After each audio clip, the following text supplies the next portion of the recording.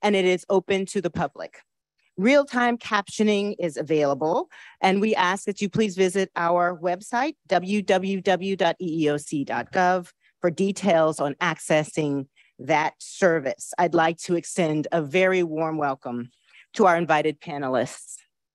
We are so grateful for your willingness to appear today to share your experiences and your expertise with this commission.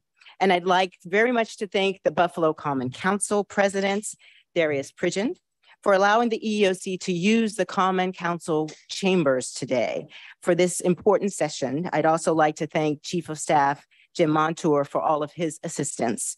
And my thanks, of course, to the EEOC staff in our local Buffalo office here and across the country who have worked tirelessly today and in several weeks and frankly months to help us prepare. Uh, my thanks to the vice chair and my fellow commissioners and their staffs. And so um, as we begin, I'd like to make sure to also thank all of the community in Buffalo. It was a pleasure to be here and to have such a warm welcome from the uh, city of good neighbors. So before we continue, let me briefly explain the procedures for today's listening session. The listening session is being recorded and a verbatim transcript will be made available of today's proceedings. The recording Indeed. the recording and the transcript, as well as the list of our witnesses, will be posted on the EEOC's website after this listening session. As the presiding officer, I am responsible for regulating the course of the meeting. Today's session will consist of three panels of witnesses. For each panel, I will introduce the witnesses who will each have five minutes for their opening remarks, followed by questions from members of the commission. We will then take a 10 minute break after the first panel and break for lunch after the second panel. Following the lunch break, we will return for our third and final panel of witnesses. While this hearing is open to the public, remarks and questions will not be taken from the audience at this time. At the end, I will let you know how to reach us um, afterwards because we very much want to hear from all of you. Um, and I would say for our witnesses, as you begin, there uh, there's a button that um, allows you to speak, which is as a person there, and to, to begin that way, as well as for the commissioners. Um, like most of America, I mourned the tragedy and really condemned condemned that vicious attack in Buffalo in May, and it claimed the lives of ten innocent people. But to eliminate the underlying injustice and racism that helps create the conditions for racially motivated violence and discrimination, we also need sustained, thoughtful, and persistent action. Grief and anger are not enough.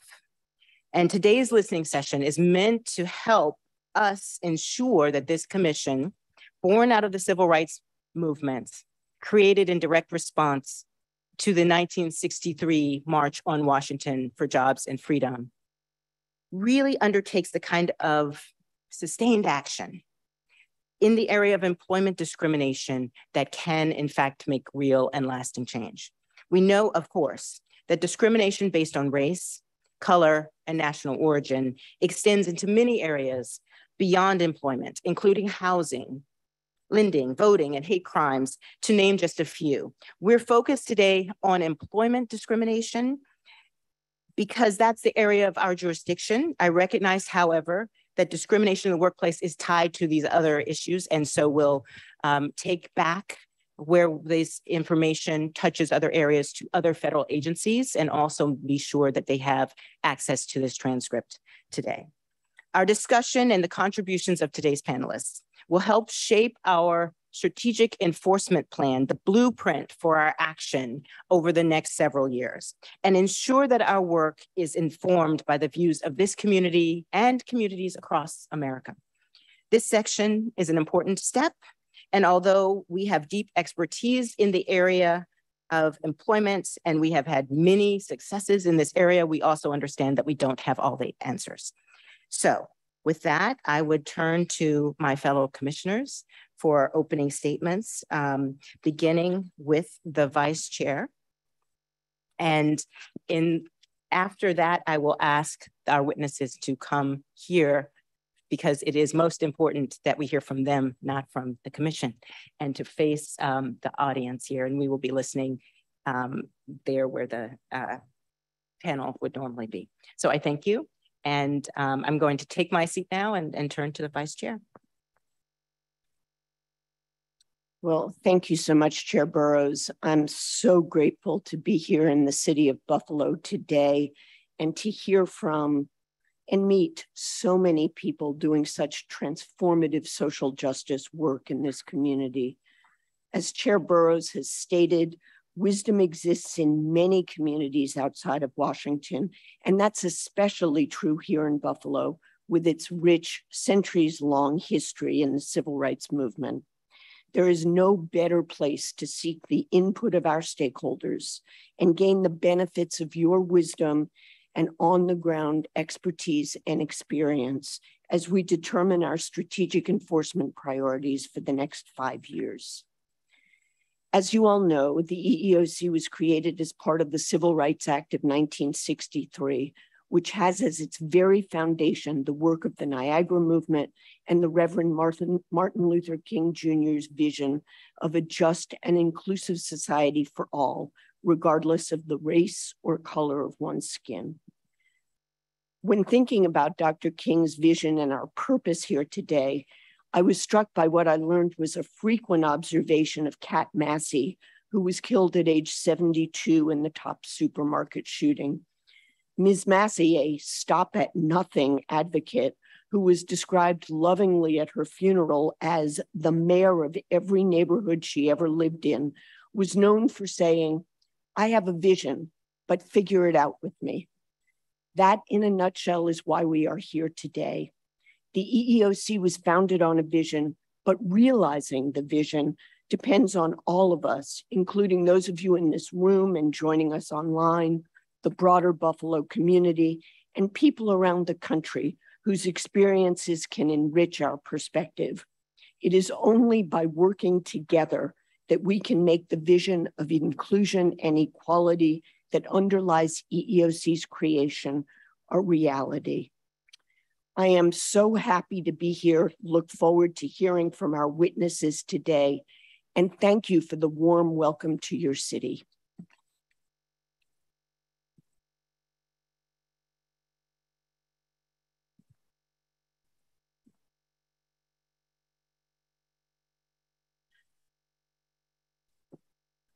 Thank you. Commissioner Dillon. Thank you. Uh, I'd also like to thank all of the witnesses who are going to appear here today.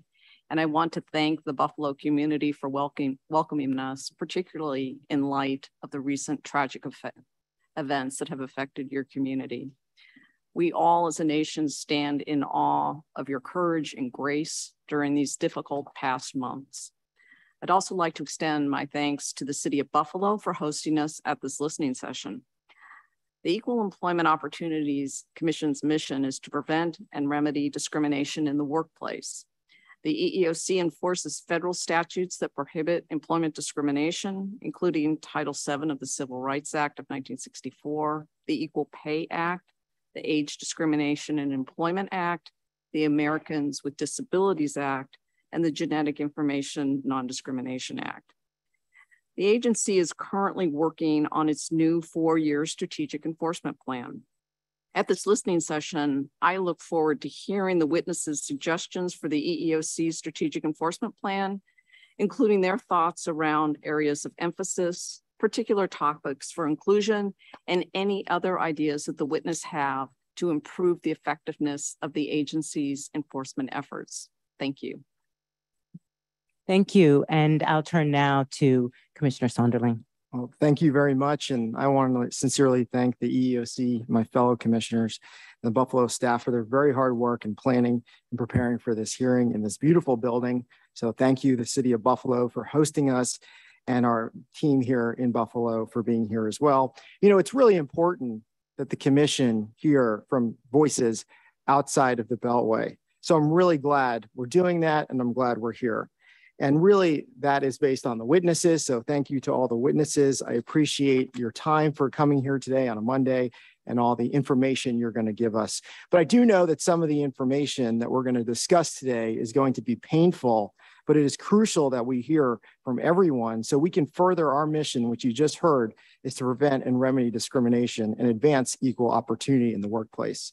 And in a special way, I'd like to express my sincere prayers for the victims of the mass shooting um, and their families that are here today. But we also owe a great deal of gratitude to all of you watching um, across the country on Zoom, and your presence is noted. So today's mission is about our strategic plan listening session related to advancing racial and economic justice. And I understand this is a very important topic to lead with, but I'm also hopeful that this is just one of many topics we're going to be discussing in the future and our future listening sessions. And, you know, we talk about an enforcement plan, what is another benefit of just enforcement? And that's compliance assistance. So I think where the commission goes with enforcement, it also lets the regulated community know we're coming here and to get your house in order. And I just do want to note on a positive, you know, in fiscal year 21, discrimination charges that the EEOC were uh, received were down 9.1%. And that's almost 38% down from fiscal year 2012. It's still too many charges, but we're obviously doing something right if charge numbers are going down. And I hope today's listening session helps us go where we need to do to make sure that discrimination continues to go down. Thank you very much. Thank you. And now I turn to Commissioner Lucas. Good morning, and thank you to all the witnesses and members of the public joining the Commission for this listening session. It's a pleasure to be here for the first in-person commission meeting since I joined the commission almost two years ago. I'm looking forward today to hearing witnesses input on the EEOC's strategic enforcement plan and how we can continue to fulfill our mission of preventing and remedying unlawful employment discrimination. Like others, I'm pleased that we're stepping outside the DC bubble for the, today's listening session, despite my disappointment that the Commission is not having other in-person listening sessions across the country. It's tremendously important that the Commission listens to voices and concerns of everyday Americans and that we consider a wide diversity of viewpoints as we go about our work. As a native Clevelander, I see many parallels in Buffalo's history and present, both Great Lakes and Rust Belt cities, cities with robust immigrant populations and with deep ties to the abolitionist movement, but also lasting scars from busing, housing segregation, and suburban white flight. Cities which once were at the heart of American manufacturing and the steel industry, but have faced economic devastation from the offshoring of jobs and globalizations. Buffalo recently was further wounded by the horrific shooting at Tops Market. I mourn with your community. Such race based hate and violence deserves no place in our society. It is also important to be realistic and humble about the ways that our particular government agency can help. The challenges that Buffalo face, like cities across our country, are complex and involve many areas of society outside the workplace. The EEOC cannot cure all of society's ills or racism writ large. But although we are just one piece of the puzzle, I believe that we can do tremendous good through our enforcement efforts against workplace discrimination. I look forward to receiving public input on this important work through this listening session, as well as after the public has a chance to comment on the draft of our strategic enforcement plan. Thank you again for hosting us.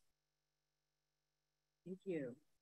Thank you. And I would ask now that our first panel of witnesses come forward and we would be honored to have you join us here on the front dais.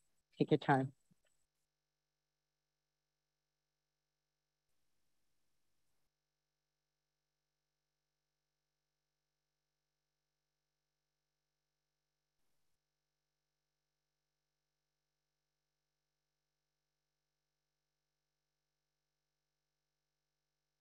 Thank you. Um, and I would uh, have the pleasure now to introduce our witnesses, beginning with Dr. Henry Louis Taylor Jr., who is a professor of urban and regional planning and founding director of the Center for Urban Studies at the University of Buffalo in our School of uh, Architecture and Planning. His research focuses on a historical and contemporary analysis of distressed urban neighborhoods, with a focus on social isolation and race and class issues among people of color, particularly African Americans and Latinos. He co authored The Harder We Run, a 2021 report identifying seven root problems that Black Buffalo has faced over the past three decades. Thank you for being here. I introduce next Zeneta Everhart, the mother of Zaire Goodman, a grocery store worker who survived the tragic shooting at Tops Friendly Market in Buffalo on May 14th. In June, she testified before the House Committee on Oversight and Reform about the need to address hate and gun violence. And since that shooting, she and her son have organized a book drive that garnered 10,000 donated books to teach future generations about racism and diversity and inclusion. She's the director of diversity and inclusion also for New York State Senator Tim Kennedy. Um, I introduce next Garnell Whitfield Jr., the son of Ruth Whitfield, one of the 10 persons whose lives were stolen uh, on May 14th at that mass shooting. And um, since then, he's become an outspoken advocate on the need to address the threat of white supremacy and urged public officials to use their power to address systemic racism. In July, he testified before the Senate Judiciary Committee and spoke at the March for Our Lives on the National Mall. He's a retired commissioner for the Buffalo Fire Department and a retired New York State Assistant Commissioner of Homeland Security and Emergency Services. Uh, next, I turn to Kimberly Ward, a member of the environmental services staff at the local hospital in Western New York. She's the lead plaintiff in a state court uh, lawsuit against her employer alleging systemic racial harassments, discrimination, and retaliation. She's accompanied by Lisa Coppola, one of the attorneys who's representing her in that case, and a partner at the Coppola firm, a litigator who counsels small businesses, organizations, and healthcare practices on a range of matters um, and represents employments in employ, uh, individuals in employment cases. She's also the chair-elect of the board of the National Association of Women Business Owners. Um, and of course, uh, last but not least, Maureen Kielt, the director of our own Buffalo local office, a position that she's held since May 2020. Um, in her 23 year tenure at the EEOC, Ms. Kielt uh, investigated several high profile cases that have been litigated by our New York district office. She's also worked closely with the Department of Justice on cases against state and local governments. So welcome to each one of you. We are so honored that you are willing to meet with us and to help assist the commission's work. Um, just as a reminder, uh, five minutes for each of your remarks. We will be having follow-up questions from the commissioners. I think we're doing eight minute rounds. So there'll be eight minutes of questions so that we can really dig in a little bit. Um, and uh, the last announcement is, of course, there's that button on the it should be fairly straightforward, but let me know. We also are keeping track of time. You'll see a clock behind you to help you regulate. So thank you very much. Um, so I'll begin with uh, Dr. Taylor. Thank you. Buffalo is one of the most segregated urban centers in the United States. And the high concentration of Blacks is what attracted the racist shooter to the city of good neighbors on May 14, 2022. This white supremacist knew that only one supermarket serviced the East Side 68,000 Black residents. He knew that shoppers would fill the store that Saturday afternoon. Ironically, white racism fueled the shooter's racial hatred, and white racism also created the marginalized, underdeveloped neighborhood conditions that drew him to the city. Tops sits in an urban landscape that reflects the ugly realities of Buffalo's brand of structural racism a sea of substandard rental housing, unkept vacant lots, neglected sidewalks and streets surround the store. Nearby, Route 33, the Kensington Expressway, cuts through the east side, devalues owner occupied housing, and spews tons of noise and air pollution into the environment. These underdeveloped neighborhood conditions spawn harmful social determinants that curtail life chances and produce adverse economic and health outcomes in the Black community. Consequently, in Buffalo, most Black folks don't live long and healthy lives. A 52% differential exists in the premature death rates between Blacks and whites. Racial residential segregation is the culprit, and the rise of mass home ownership after World War II created it. In mass home ownership, whiteness and social class exclusivity determined housing values, and whites kept blacks out of their neighborhoods to increase property values. Between 1940 and 1980, thousands of blacks poured into the city, while thousands more whites rushed to the suburban home ownership zones. Whites used zoning laws, restrictive covenants, and intimidation to exclude blacks from the suburbs and segregate them on Buffalo's east side. The die was cast. Low incomes and high rents trapped blacks in these segregated neighborhoods. This is because there is a direct association amongst labor market dynamics, household income, and residential segregation.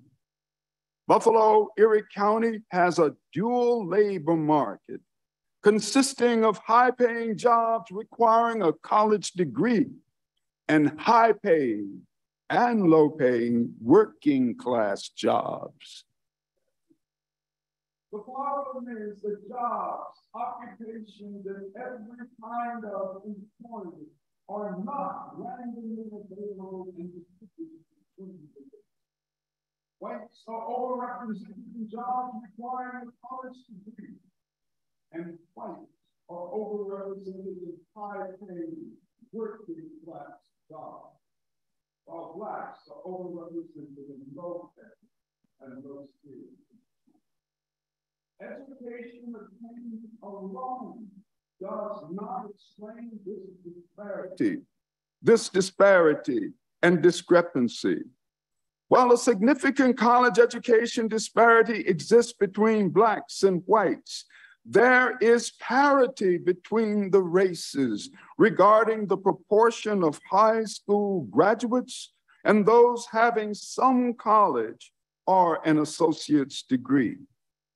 Only 30% of the jobs in this region require a college degree. So why can't blacks get their rightful share of the plentiful, high paying, working class jobs? The reason is systemic structural racism. Case in point, in Erie County suburbs, less than 50% of the residents in 19 of 21 of the highest income suburbs have college degrees. And in 10 of the 21 highest income suburbs, less than 30% of the population have college degrees. In closing, the race-based disparities in high-paying working class jobs produce inequities in income and home ownership. For example, there is a 66% differential in the median household income of blacks and whites, and a 69% differential in home ownership rates. The time has come for the EEOC to help end this vicious cycle of exclusion and predatory inclusion by removing the purposeful, deliberate, and or calculated obstacles that exclude Blacks from high-paying working class jobs. Thank you. Thank you. So I would turn next um, to uh, Ms. To Ms. Everhart. Thank you. Good morning. Go ahead, please. Good morning and thank you. My son Zaire Goodman was shot and seriously injured by a domestic terrorist at the Tops grocery store on Jefferson Avenue in the city of Buffalo on Saturday, May 14, 2022. I am truly grateful that the rest of Zaire's story is a story of survival, healing, and the realization of a miracle right before our eyes. While Zaire's physical wounds continue to heal, his body and mind are forever altered. Zaire was shot on the right side of his neck, and the fragments of that bullet exited his body on his back, right on top of his spine. He will live with shrapnel inside of his body for the rest of his life. He is left with the memory of he is left with the memory of feeling his flesh being torn open by a bullet from an AR-15. He is also left with the memory of seeing an elder from his community who he says was a wonderful woman being shot and killed right in front of him, as well as the memory of bodies lying dead in the parking lot of the grocery store where he was employed. So therapy will now be a normal part of his healing journey. Since 514, everyone has asked me, how do I stay strong? Zaire is that reason. Seeing the way that Zaire has handled all of this has given me the strength to advocate for change. The first thing Zaire said to me after he was shot while laying in the hospital bed was, Mom, I knew I'd be fine. He is resilient. Besides going to doctors, his first time really getting out of the house was 15 days after the massacre. And he wanted to go to the memorial in front of Tops to put flowers down. Zaire kneeled, kneeled there. Zaire kneeled there for a good five minutes. Three days after that, he went to a meeting at the Merriweather Library with his coworkers. He missed his people. And when Tops reopened, he was there and happy to return. While he realizes that the scene there is a source of pain for so many in the community, he feels that the reopening of the store shows that shows the terrorists that he cannot destroy our community. The world we live in is by design. Systemic racism is a calculated construct. That is why it was so easy for the terrorists to find the Black people here in Buffalo and cause terror. We live in a very exclusive society. It is not inclusive we like to think that America is the melting pot that everyone says that it is, but it is not. We don't blend together like a perfectly mixed smoothie. We separate and build walls around ourselves. We live in bubbles with people who look like us. And then one day we step outside of those walls and freak out because the outside world looks nothing like the four square miles that we were raised in. What I said in my statement to Congress that America is inherently violent, I wasn't just talking about domestic terrorism and gun violence. I was also talking about the condition of the Black community. What is happening in my community and communities just like the east side of Buffalo all across the country is violent the starvation of resources, the lack of education, the poor health system, dilapidated housing, few employment opportunities, food insecurity, limited transportation, redlining, not having enough green spaces, not having sidewalks. This is violence. Black people have been under attack in this country since my ancestors stopped, stepped off those boats, and it boggles my mind that I sit here before you today saying the same things that Black people have been saying for centuries. Thank you. Thank you. I will turn now to uh, Mr. Garnell Whitfield. Good morning. Here today because my 86 uh, year old mother was murdered along with nine other souls uh, while shopping in our, in our community on May 14th. Unlike uh, my learned, distinguished panelists uh, that you hear from today, I brought only my lived experiences uh, to share with you because I want you to know what it feels like to be traumatized in this manner, not just on May 14th, but every day, every day of your life just because of the color of your skin. On the surface, it would appear that I, I made it. You know, I'm blessed with a functional family, reasonable portion of health and intelligence, depending on who you talk to, common sense, uh, gainful employment, an opportunity to grab a piece of that much sought after American dream. The truth is, I, like every other Black American, am a victim and survivor of racism, treated differently and put under constant pressure to be quiet and ignore the incessant barrage of biases, implicit and otherwise, just to get along, just to fit in, and just maybe get a piece of that so called dream that you've been taught to believe in.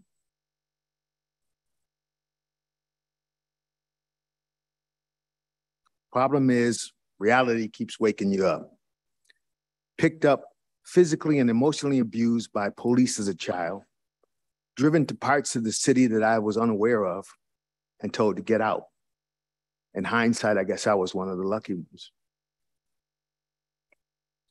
Accused of armed robbery at 15, lied on, physically abused while in custody, facing a grand jury indictment, only free because my accuser was again robbed while I awaited trial, which rendered him unavailable to testify against me. Charges were dismissed in lieu of his testimony. The case was never adjudicated, which for the New York State troopers was enough to disqualify me as the 126th candidate on the uh, list for that year. Remember the first class of the civil service uh, list for the firefighter in 1984 was sabotaged by my company officer. At my final one-on-one evaluation with him, he shared his real belief and concern that he might have to work for me one day. I guess that was one of my earliest exposures to the big, to the lie of race replacement theory. But I realized that his real fear was that I one day would be in a position to treat him as he had treated me. That was his real fear. I retired as commissioner in the fire department. My CO had been right. He would have worked for me had he not been killed in the line of duty. I went to his funeral, I prayed for him, and I cried for him, just like I'm taught to do. There's a story of every day of my life. Every day I've been treated differently. I've talked a lot about my mom. I felt it was important for you to know what we go through. No matter what opportunity you provide for us.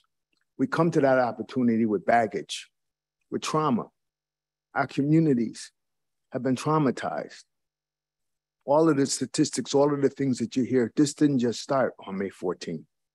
We've been living with this our entire lives. When you provide these opportunities, you need to understand that the people who are availing themselves of them are not equal, don't have the same opportunity, because they come with this baggage. And these things are systemic, they're intentional. The violence that we're talking about here is not by happen chance. None of these things are coincidence. And I'm just here to ask you to consider that as you develop these opportunities. I'm very thankful for your work. But the truth of the matter is, we have to do some more work in our communities. We have to prepare people for these opportunities and we have to deal with the trauma that they go through on a daily basis. Thank you. Thank you. I appreciate that. Um, all right. Well, we are going to move now to Ms. Hayward. Thank you too for being here. Thank you. Appreciate it. Go good ahead. morning. I would like to start off saying good morning. I, Kimberly Hayward, worked within the Catholic health system since June of 1999, but I left to pursue my degree in substance abuse counseling and mental health. I came back to Mercy Hospital after years of working in the field of substance abuse health.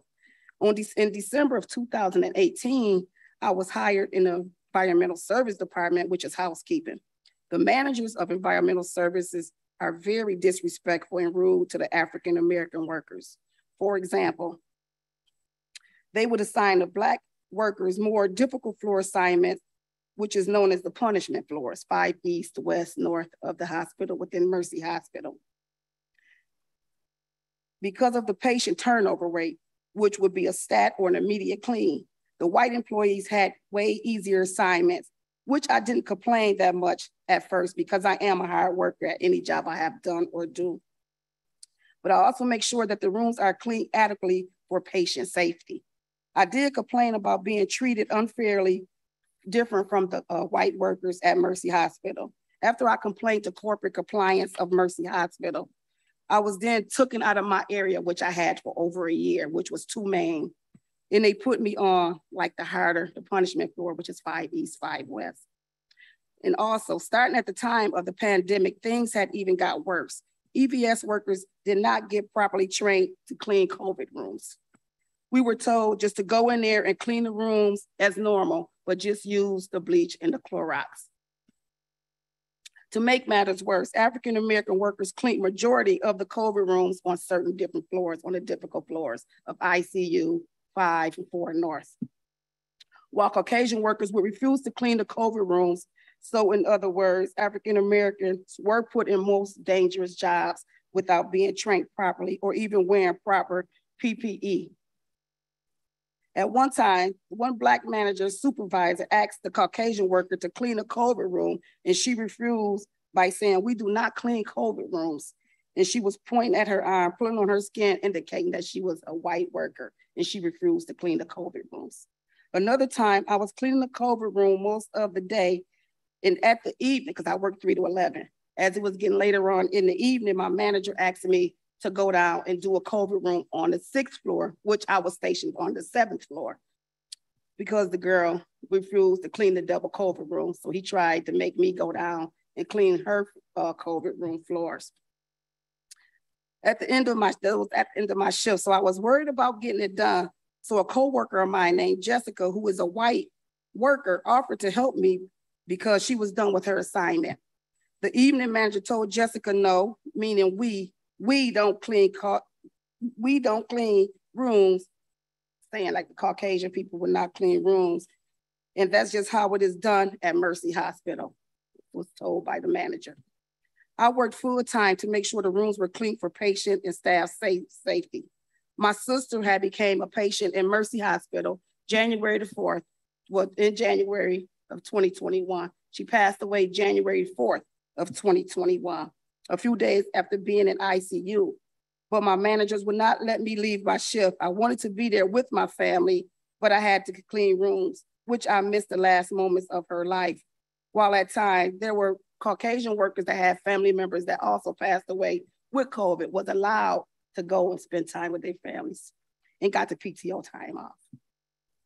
Things need to be changed at Mercy Hospital. I'm no longer in the environmental service department at Mercy Hospital due to I could not keep accepting the treatment that was being handed down by the workers, which is METS. METS is a, um, an outside contract worker who's running the EVS department at Mercy Hospital. I tried at the beginning of my hire to contact corporate compliance about the managers and supervisors' behavior towards the African American workers, but it didn't get anywhere. I honestly tried to make it better for me and my coworkers, but no one would listen in the HR department or as far as corporate compliance. Maybe they need to start listening to the workers and now and how managers and supervisors are being treated, treating their uh, workers. And that's all I have to say about working at Mercy Hospital.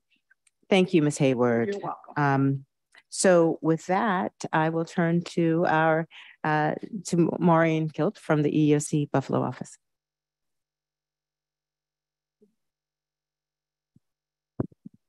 I don't follow directions. Okay, terrific.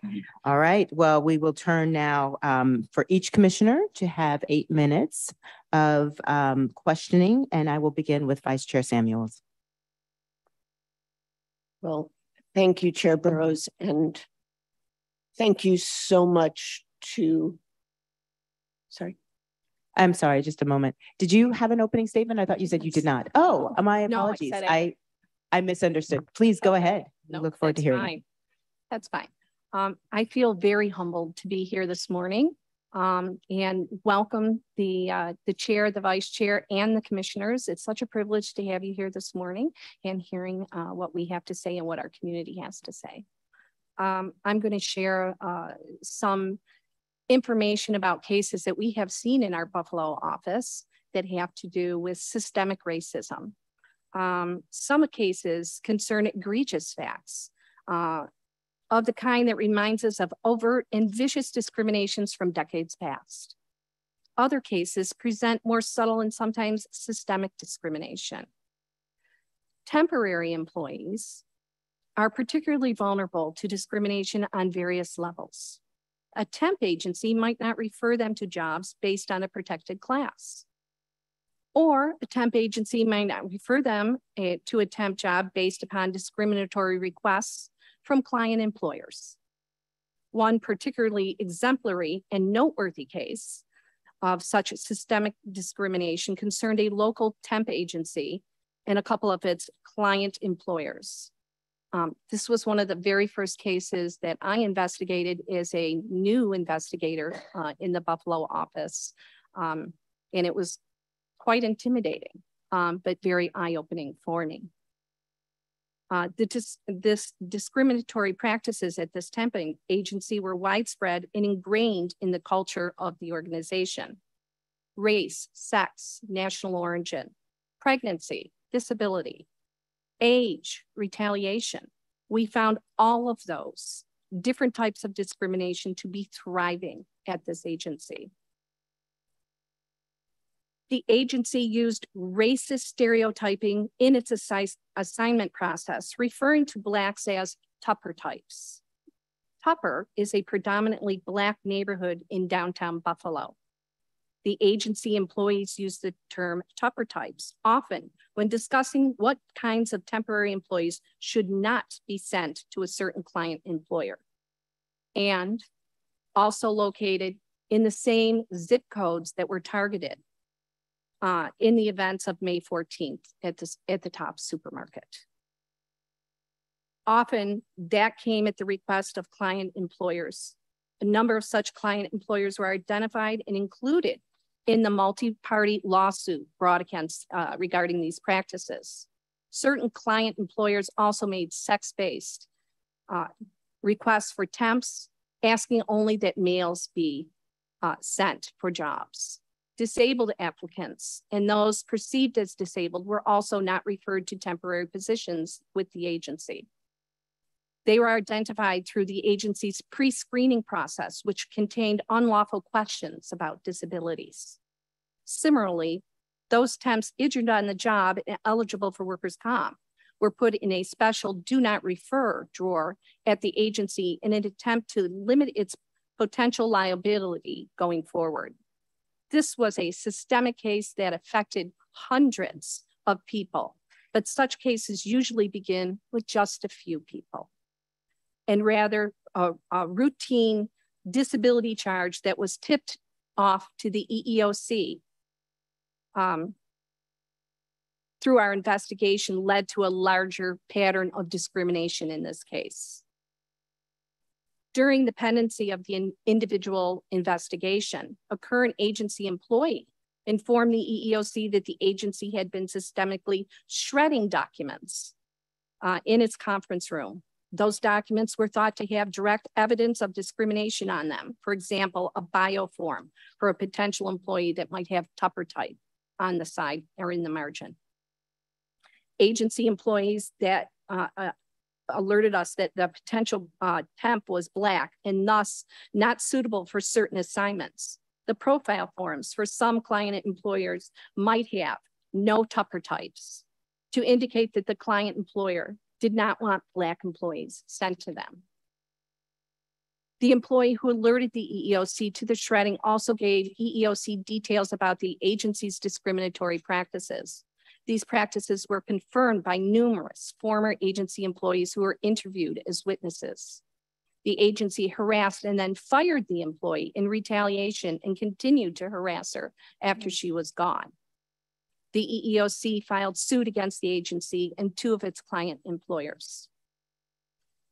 We entered into a decree that contained a $500,000 claims fund for the victims of discrimination other cases that have come through the EEOC's office that point to the systemic discrimination, a roofing company out of Rochester um, that uh, subject uh, individuals of color to name calling, racial epithets, uh, comments, um, pictures, um, and uh, affected their ability to get a job, to get promoted, to become permanent, to have raises.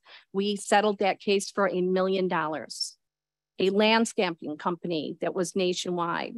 Same types of issues, um, inappropriate comments, name calling, racial epithets, the use of the N word, being called boy, being called gorilla.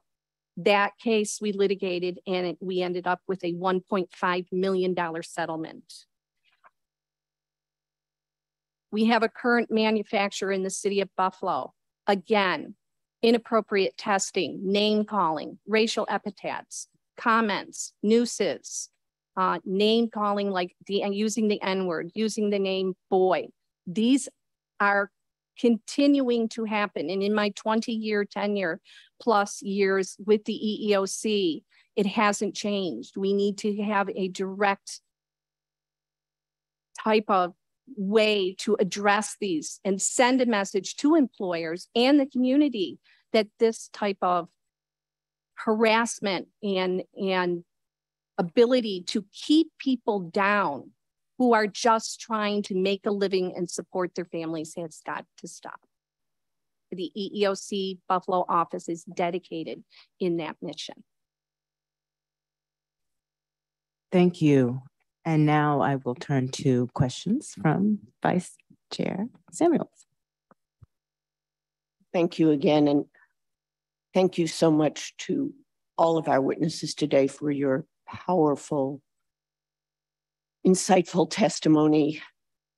Mr. Whitfield, Ms. Everhart, thank you for sharing your personal stories and for your resilience and determination to turn your grief into real prospects for social change. Dr. Taylor, thank you for your decades of scholarship on the roots of systemic racial inequities. Ms. Kielt, your leadership of the Buffalo office is inspirational to all of us in Washington. Thank you so much for your work. And Ms. Hayward and Ms. Coppola, thank you for being warriors for justice and for tackling systemic harassment. I have many more questions than we likely will have time to get to today, but let me start with you, Dr. Taylor. I hear you saying that Black residents of Buffalo are kept out of high paying working class jobs that don't require college degrees. What can the EEOC, using the tools at our disposal, best do to help break down those barriers to those kinds of well paying jobs?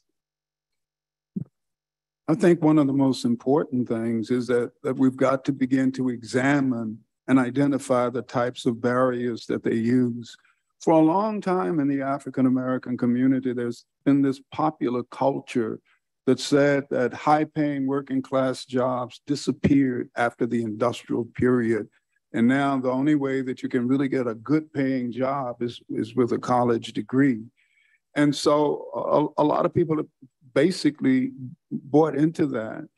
And it wasn't really until we started looking at the data on class exclusivity that we started to see this big distinction within the labor market, high paying working class jobs and, and blacks. And we've always been told we got to get more education, more education, more education.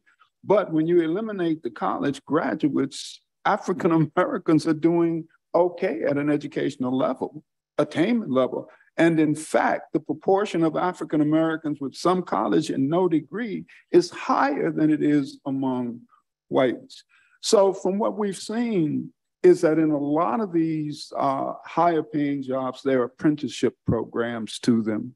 And if you're not given access to those apprenticeship programs, you don't get in.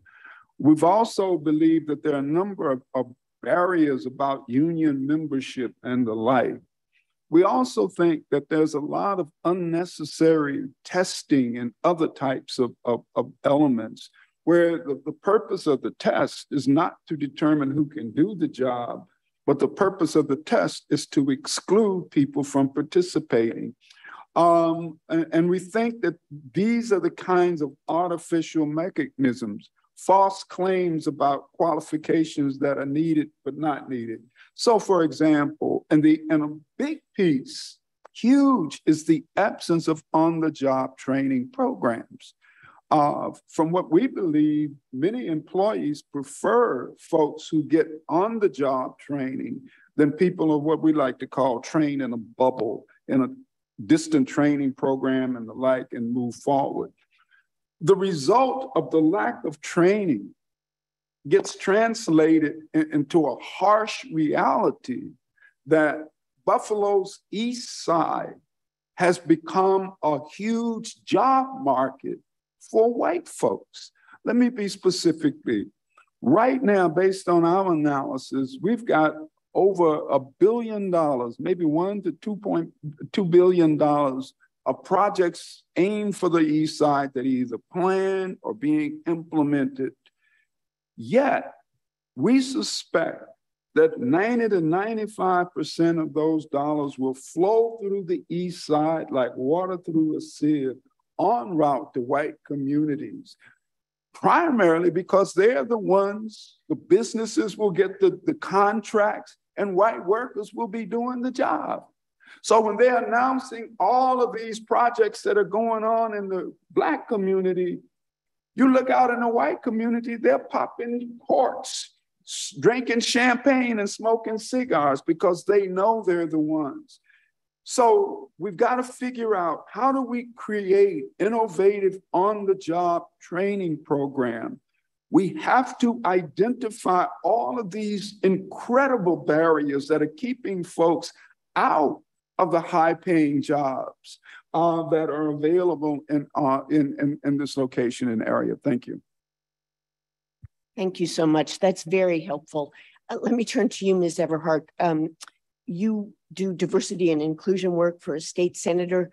What can you share with us about lessons learned about effective practices that EEOC can promote in cities and towns and rural areas across the country? Absolutely. Um, so yeah, so my job is uh, Director of Diversity and Inclusion for Senator Tim Kennedy. Um, and a lot of the work that I do um, in his office is, you know, exactly that, right? I'm trying to figure out how are we training people, right? Like, what does that look like? How are we making sure that people are thinking about diversity in work, right? And so one of the things that the senator did um, was draft legislation, Senate Bill uh, 3468B, um, which would create an Office of Racial Equity and Social Justice within the framework of the New York State government, right? And so our idea is that this office would be an oversight office for exactly the things that Dr. Taylor was just mentioning, in that making sure that Black and Brown people on the east side of Buffalo get opportunities in those billion dollar um, contracts and things like that. Um, and also in just training period, right? And harassment training. I know that everyone in this room has probably gone through a million of those harassment training, yearly trainings, right? We, we talk about what to say to people, what not to say to people, how to act in front of people, how not, you know, and we've all gone through those trainings. Um, but the thing with those trainings is they don't really get to the root, right? And they don't talk about, you know, implicit biases. Um, they don't talk about microaggressions, you know. So I think that there needs to be a training that everyone across the country in any job should have to go through a training where they are taught about the things that they say, like saying boy, right? Um, like Maureen just talked about. Like that is such a, you know, a microaggression, right? And so I think that that is where the EEOC can come into play in that supporting legislation that our legislators are putting forward, um, you know, because Black people are humans, right? And if we have, and if we're going to live in this country, it has to be equitable. And the only way to get there is by learning and by learning about each other. And we have to do that at the highest levels. And that is directly on the job, in the jobs. You have to learn that you can't say boy to people. It's disrespectful. Right. And, and I think that that's definitely where the senator's office has, you know, played a huge part in trying to break down some of these things. Thank you. Well, thank you so much. I am sadly out of time, and I do have more questions, which maybe I can ask the witnesses at a break. Um, I also encourage all of you to continue to be in touch with us and to take advantage of our online mechanism for providing additional commentary to us on ways that EEOC can best help to achieve the goals I know we all share. So thank you all so much. Thank you, Vice Chair. And I will turn now to Commissioner Dillon. Thank you. Um, again, thank you to all of the witnesses, um, and particularly Ms. Everhart, Mr. Whitfield, thank you. Um, I think a lot of people in your situation would not have the courage and the grace um, to do what you're doing, and what you're doing is important. So thank you for being here. Um, Dr. Taylor, I was, um, as I was reading your work and then listening to you today, I'm very interested in your thoughts around education um, because that's a particular interest of mine here at the EEOC. So it's estimated that 130 million Americans struggle with literacy, um, that their ability to read is below the basic level of literacy, which is level three.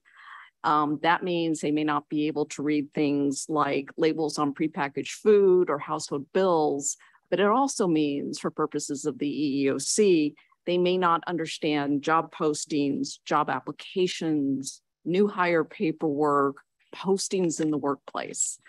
Um, according to Literacy New York, Buffalo, Niagara, approximately 30% of adults in Buffalo are considered functionally illiterate, which means that they read at a fifth grade level or below. And in the combined population of Erie and Niagara counties, 17.5% of adults read at or below level one. And we know what the economic impact of the lack of literacy is on an employee's earnings. So the average annual income of an adult at a level zero or level one literacy rate is just over $34,000, basically minimum wage. Level two, the average income rises to 48,000 and level three, 63,000. Um, what impact do you think literacy issues are having on workplaces in Buffalo? Uh, the first thing I want to say is I, I think that the issue of, of, literacy is a a huge problem and, and a huge issue. Um, and it can be used uh, as an excuse for certain things happening and, and occurring. I want to step back from that. We're talking about now structures, but we always devolve in, back to the individual. We talk about structures and then we create training programs for the individuals. So when we talk about literacy and literacy's impact on employment, I would argue that that is a systemic structural racism issue. Because if I need to learn to read something to do a job, you can develop literacy programs to teach me to read what I need to do to do the job. It's systemic structural racism when you tell me I can't read, so I can't get the job, as opposed to saying, let's develop the training program around the reading. If you have math limitations, let's develop innovative training programs around what you need to do this job. If I'm an electrician, I need to put the wires together and I need to know this, that, and the other. Show me that on the job. So the very idea that we want to use literacy in the richest country on earth as an excuse for Black people not having jobs is systemic structural racism. And we need to accept and acknowledge that. And the question is not how much literacy, illiteracy is. The question is, how can we divide, design innovative programs in order to teach literacy in a fundamentally different way? Why do we have all these programs that teach literacy in a bubble? isolated and separated from the work that people do, and then say, now we've taught you how to read, go find a job. So the issue is not literacy.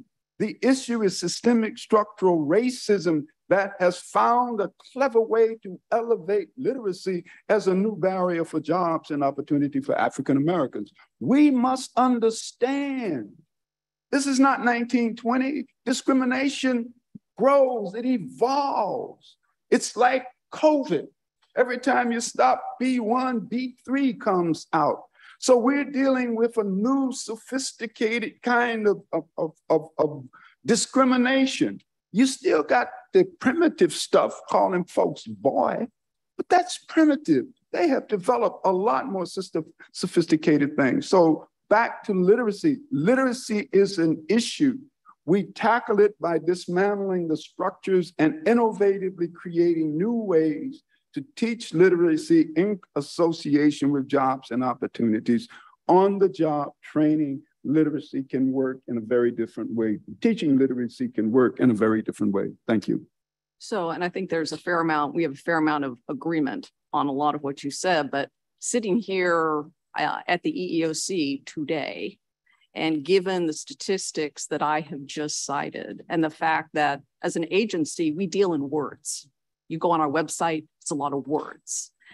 How can our agency sitting here today be impactful to reach people who I suspect need us the most but right now, because of the barriers of literacy, don't access us as effectively as they can and face barriers even to apply for a job. So, what do we do? I think we work downstream and upstream. I think uh, we have to create uh, linkages that will encourage people to reach out uh, so that they can use the exact services around discrimination and the like. While at the same time, I think EEOC can use its voice to call for more innovative ways of, of uh, teaching literacy skills in relationship to work. And again, I think we have to strengthen the literacy programs that are existing down on the ground in the, in the neighborhoods and the communities. So it's a combination of working downstream while at the same time working upstream and in the process identifying the specific things that you all can do both locally and nationally to help within that framework. But I think one of the big things is lending your voice to the creation of innovative types of, of, of, of, ways of, of teaching literacy and calling on people on the literacy front to begin to create products and, and activities and demonstration projects that will show that we can teach literacy in a very, very different way. Well, and since I uh, have the the uh, good fortune of having our representative from Buffalo here, I'm just going to pose briefly in my remaining seconds um, your thoughts around the challenges that literacy rates pose to the work on the ground that you and your colleagues do here in Buffalo.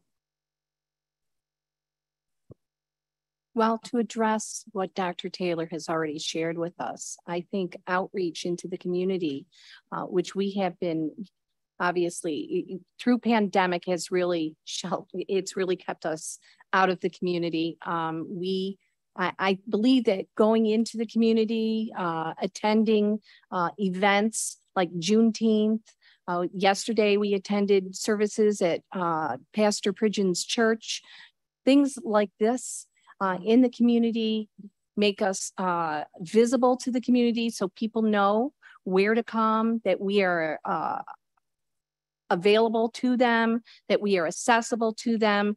I always answer my phone. And if I don't answer my phone, I always return the call. You'll get a call, if not the same day, you'll get a call within 24 hours. I pride myself on that. I, I believe that our office is very open to the community and accessible to the community. And as we move from the pandemic constraints of the office, we will start to see more of that uh, that I envision um, as inclusive to the city and the communities that that embrace us. So hopefully, uh, as we move along and we are able to get out there a little bit more, that's going to help stem that.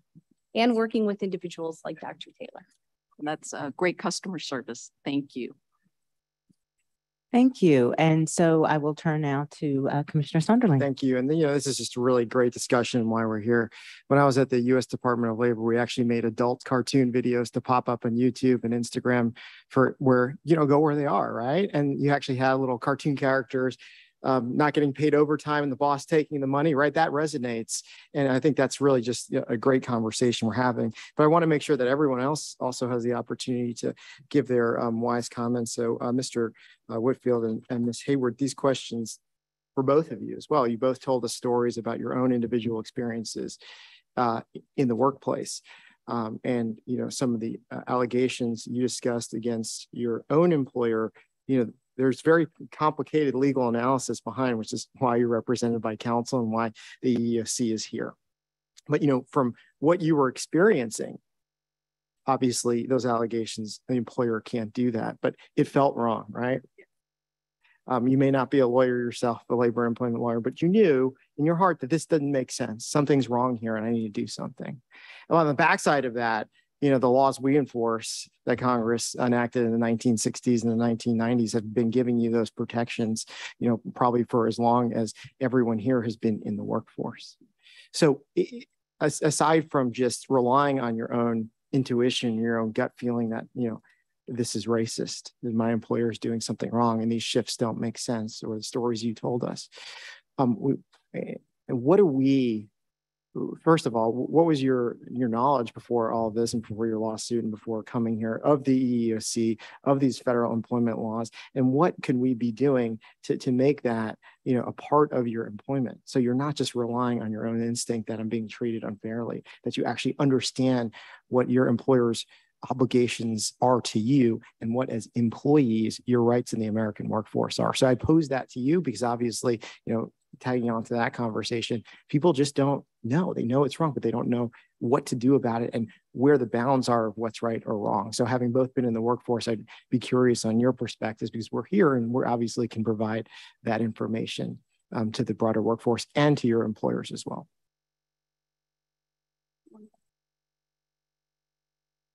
Um, I hope that the EEOC can understand that it has the power to make a big difference, like within the changes of the hospital, the racial discriminations and everything. Because me as being one single employee, I can't do it alone. But with a federal agency can help with these type of situations and this racism and discrimination that's going on within the employment that I work. And EOC can also stand up with us and hold these employers accountable for what they do to the African American employees within their work system from from your perspective as an employee there, what more could we done to help you before this ever occurred for your employer? I mean, you know, what would be your ask from all of us here, taking away that you have all of us, all five of us here? You know, what can we do better, and how can we prevent your situation from occurring? Get some diversity training within the hospital, and some harassment training, not to be harassed and intimidated by the managers and supervisors that is employed within the, the Catholic health system. And, and to you on this general theme of being in the workforce and you know, knowing your rights. Thank you. Well, um, I've, I've had the, uh, the opportunity to be on both sides of this. I, I, shared some of the stories that I've gone through personally, right. but I've also been a part of the administration, a part of the hiring process. Um, and just to dovetail on what Dr. Taylor said, um, one of the uh, things that I realized uh, early on uh, was the inequity uh, in the in the uh, in the candidates that were coming to the fire department. Uh, um, you know, we had people coming from uh, the suburbs who were in training programs, volunteer departments, had access to to uh, these experiences and that they would move into the city and literally, you know, take the jobs from persons within the city who had none of those experiences. One of the things we tried to do uh, uh, prior to retiring was build a training program uh, uh over at East High School uh, for uh, fi the fire service, law enforcement, and that, uh, where you know kids from our community uh, would have the opportunity to learn about these uh, different trades, these different careers, and be able to compete. you know, with with persons from out of their community. you know, when that time uh, was made available to them. So I, I agree with uh, what uh, Dr. Taylor said is, I think, very, very important. Um, we have to prepare people uh, for these jobs. We have to be innovative. We have to understand that uh, just because they both put an application in, things are not equal. Uh, you know, things are not equal. We come to these to these opportunities with a lot of baggage and a lot of, you know, and without all of the other things that other candidates bring to it. So I think that there's a lot of work to be done there. Thank you. And um, Dr. Taylor, uh, first uh, University at Buffalo, I had a family member went there. So I learned at an early age not to say University of Buffalo, University at Buffalo. So those are my Buffalo credentials, everyone. But um, you run the, the Center for Urban Studies, uh, Urban in Internship um, Program um, at your school. And, you know, along with this conversation, a lot of that uh, internship programs that I want to hear about is about this workforce development and some of these other issues. But do you think there's an opportunity there from our perspective, when we're ingraining some of these skills in younger workers, but also teaching them about their rights in the workplace. And so much is focused on skills and training and apprenticeships and all this. But but how how do we institute um, our knowledge of the federal employment laws and your just rights as a citizen in there. So at the same time you're learning how to do the trade, you also know here's what you can't, you shouldn't happen to you in the workplace. I, I actually think you ought to develop some innovative outreach programs. Uh, I suspect that most people in Buffalo and across the country have no idea what EEOC right. is in, involved with.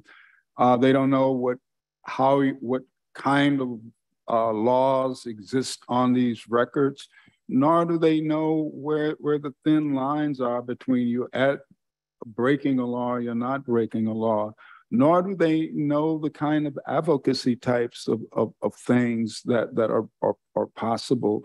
So I, I, think the kind of outreach um, that's innovative, and I'm saying innovative in high school, people go to the high schools and explain what legal rights folks have, what's right, what's wrong, and how you can influence and shape the law. The law is just something that somebody wrote today. You can write something else tomorrow. Uh, and, and so where we can think about particular things, or the EOC can, can send us out messages, you know, what if we had a law that demanded this or, or, or that? So my, my belief is that we need to sit back and begin to think not only about what the existing law is, but what are the kinds of laws that we need to put into place that will change the structure, that will change the way we approach job training. And, and, you know, I go back to, to, to, to the start point, this urban legend that working class jobs disappeared. They don't even call them that anymore. They hid those jobs. Changes our, our way of thinking about this world. And, and when we, people talk about replacement theory that is so popular amongst extremists, what do they really mean? What they're really talking about is how do we continue the working class monopoly on these higher paying jobs? How do we do that? How do we continue to allow white folks with just a high school degree to create wealth, have incomes that are very high, live in suburban communities? So, um, the outreach that that lets the population know. I mean, I suspect uh, if you went out on Jefferson Avenue and asked someone, what is EEOC? They'd probably say, is that a rap group? and so we, I think that level of education is, is early important. On. Early, very early. And I think the other is beginning to work with folks in the local offices so we can begin to think about what are some new kinds of laws that will allow us to go after the current realities uh, that we face, that go after this new form of colorblind racism that didn't exist at the time that the agency was brought into being. Thank you. Thank you. And now I turn to Commissioner Lucas. Thank you. And thank you all to the witnesses for your powerful testimony and for appearing uh, here today. Um, it really is wonderful to be outside of DC, and I'm, I'm really grateful to be back in uh, a Lake Erie town. Um, Dr. Hiller, I, have been very interested in your points about uh, the bulk of the jobs that are not college degree related, but I did want to focus first a little bit on, on the 30% that might uh, be related to college, uh, that might require college degrees. To what degree do you think that there is some racial disparate impact in terms of unnecessary college degree requirements or other credentialing requirements? I, I think there's probably a lot more than we realize. I mean, for example, I'm, I'm struck when I go down the listing of positions that, that require an, an associate degree. They don't just say some college, but but but an associate degree. And I'm I'm thinking, well, if you've got some college and, and didn't even think about an associate degree, what, what is involved in, in relationship to that? I mean, as an academic, I know we're always at the university creating unnecessary credentialing uh, to keep people out. I mean, when I first got into the Department of Urban and Regional Planning, the entrance requirements for master students was 2.5. Now it's 3.0. I have no way of discerning that these new students are any smarter than the other students that I have.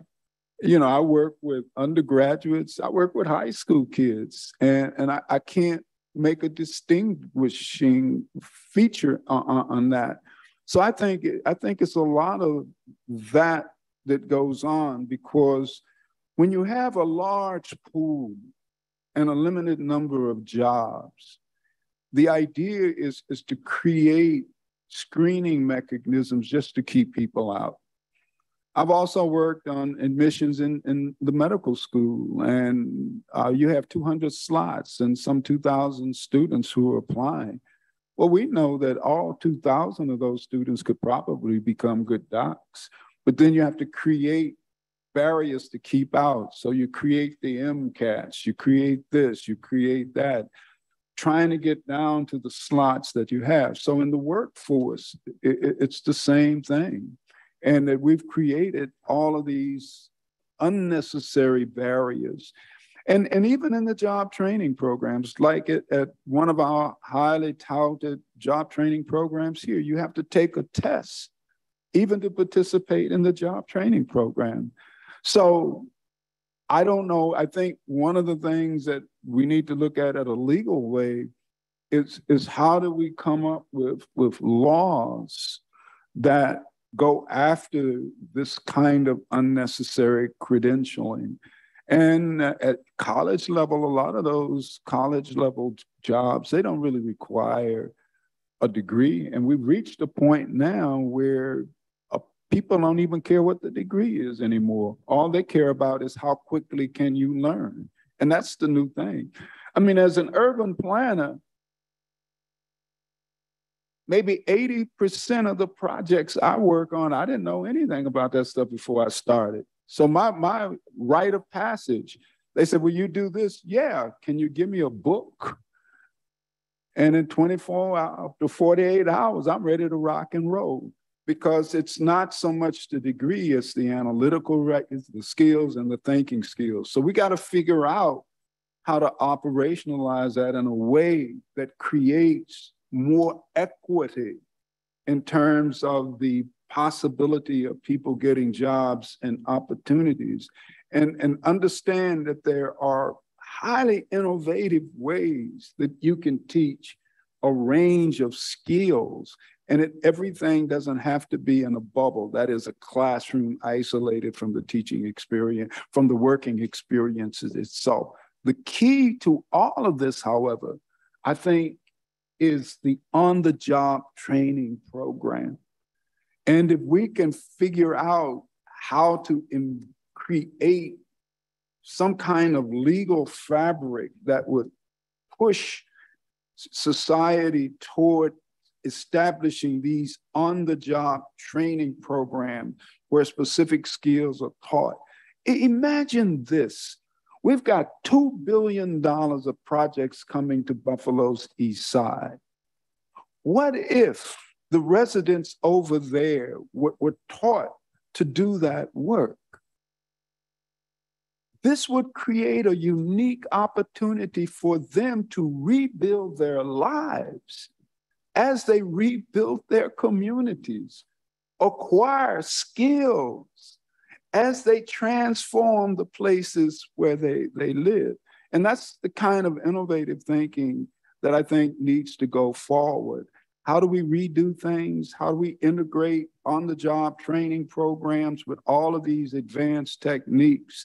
And how do we create laws that will allow us to recreate the framework in which work and opportunity is created in the United States.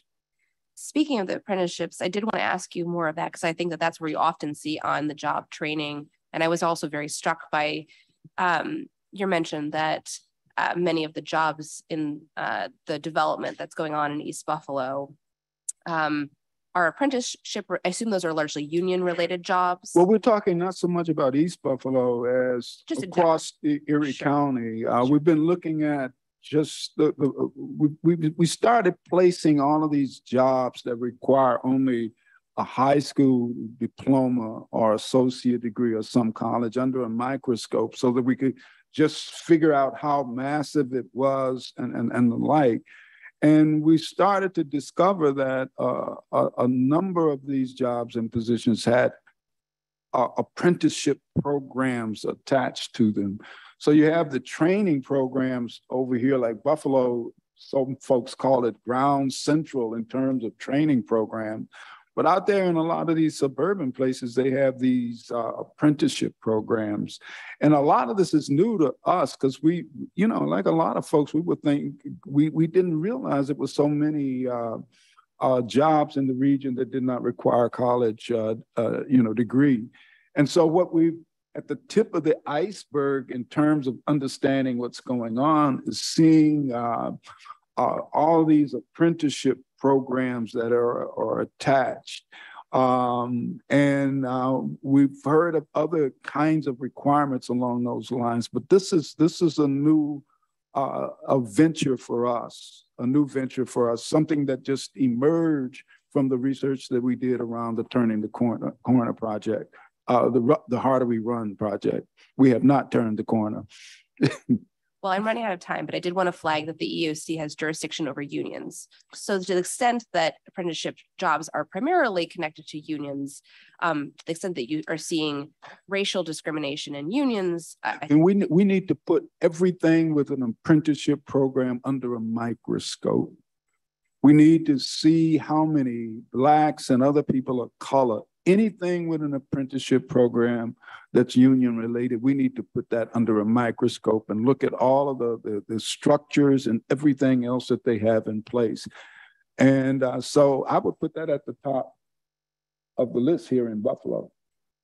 Thank you.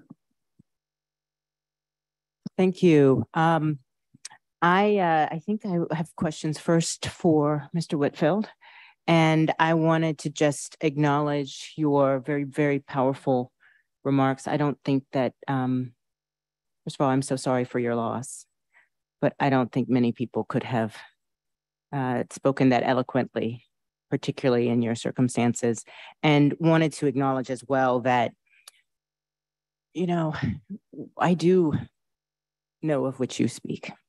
And what we are trying to do is get forward. And I would love your thoughts on, you know, we're talking about, and so many people have talked about, like, what is it that brought someone who is so young to hate so much? And we have, eh, you know, this issue of racial harassment. And you heard it from the director of our EEOC office, Maureen Kielt, spills into the workplaces in so many ways. I'm happy to say that the EEOC does have a youth at work program and we go into colleges and high schools, very popular, by the way, among our staff. We had to dial back a little bit in COVID, but that's really important, and we want to do more of that. But what do you, um, if you could have one ask of us for ways in which we could be helpful or employers could be helpful and in looking at how to um, really address this issue of bias in our families, communities, workplaces. Um, what role do you see for this commission and for businesses or employers? What what advice, if you had one, you know, one ask? Thank you. Um, I think, uh, quite frankly, I think Dr. Taylor has uh, has touched on a number of the things that I would identify as important for this this body to uh, to deal with. Um, the shooter here in Buffalo, uh, in his manifesto, talked about how he had been harassed his whole life. It wasn't by us. It was within his own community. Um, he was not harassed by black black folk. Um, so the bias and the uh, and the things that we're talking about, the hate, it's not, you know, it's not germane to us. Certainly, we have a disproportionate amount of it uh, directed at us, but uh, you know, he felt ostracized. He felt you know, um, that he had nowhere to go. Um, and so he, you know, he bought into this, this, uh, this hate and this bigotry. He had somebody to blame. Um, our, our, you know, systemically, we are corrupted. I mean, we keep on trying to do this patchwork thing, but we've got to, as Dr. Taylor said, come up with some new ways of dealing with these these issues. Um, we have to be honest about it. Uh, we have to have these conversations.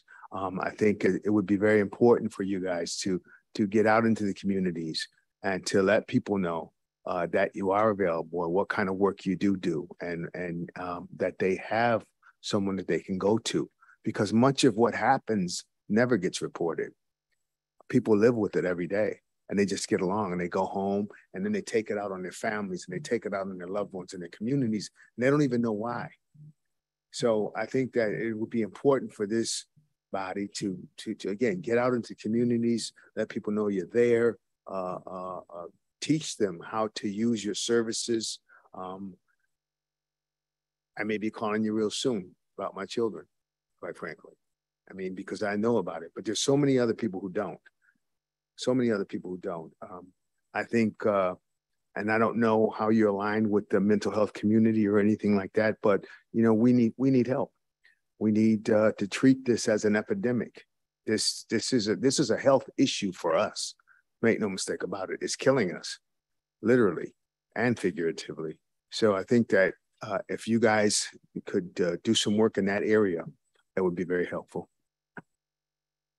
Thank you. We do um, work closely with the Department of Health and Human Services and obviously uh, disability is, and including mental health disability and all of those stress factors. Um, when disabilities arise from that, we have protections with respect to job discrimination, but a great deal of that, those root causes really are beyond the EOC's purview, but I absolutely will share that with our our friends at the Department of Health and Human Services. Um, I wanted to go to Ms. Everhart next. Thank you again for being here. Um, takes great courage. And uh, I was really inspired by your book drive. I love to read.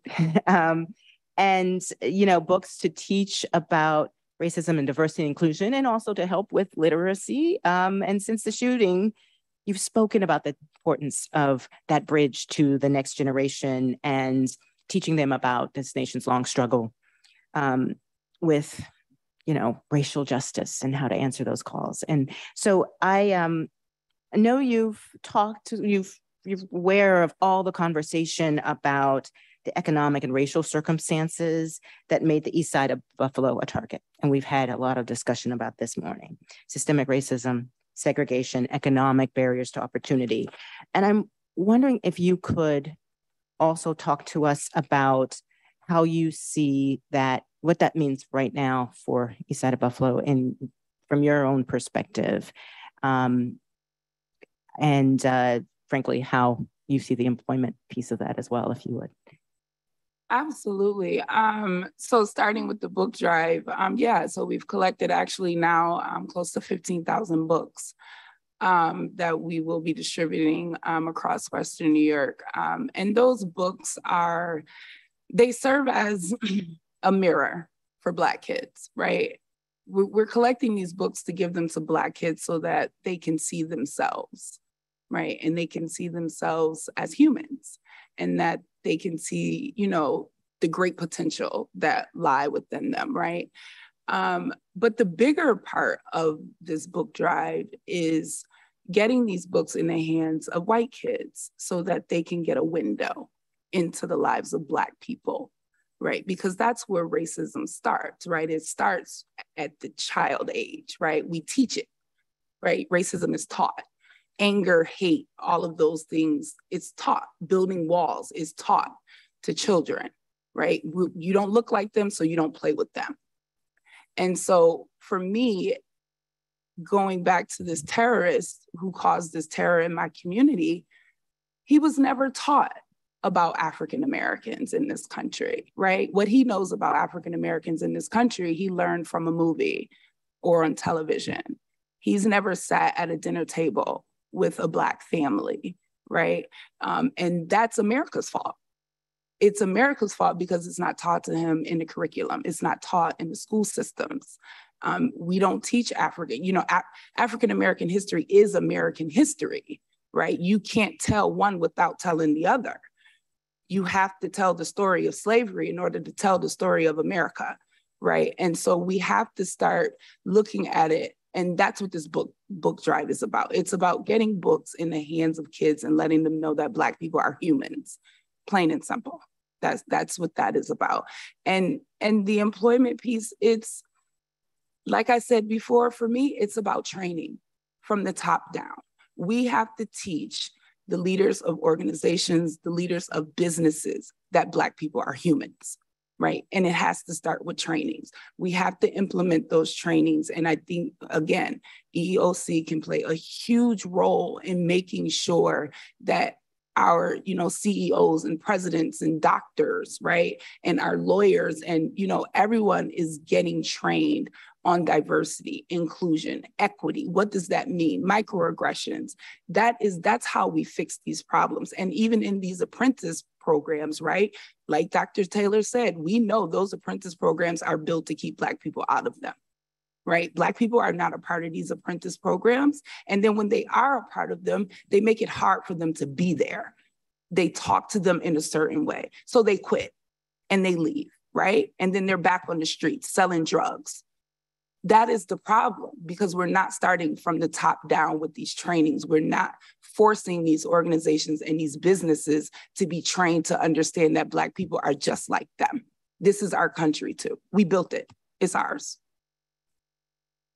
Thank you. I see I'm out of time. I have so many more questions for each of you.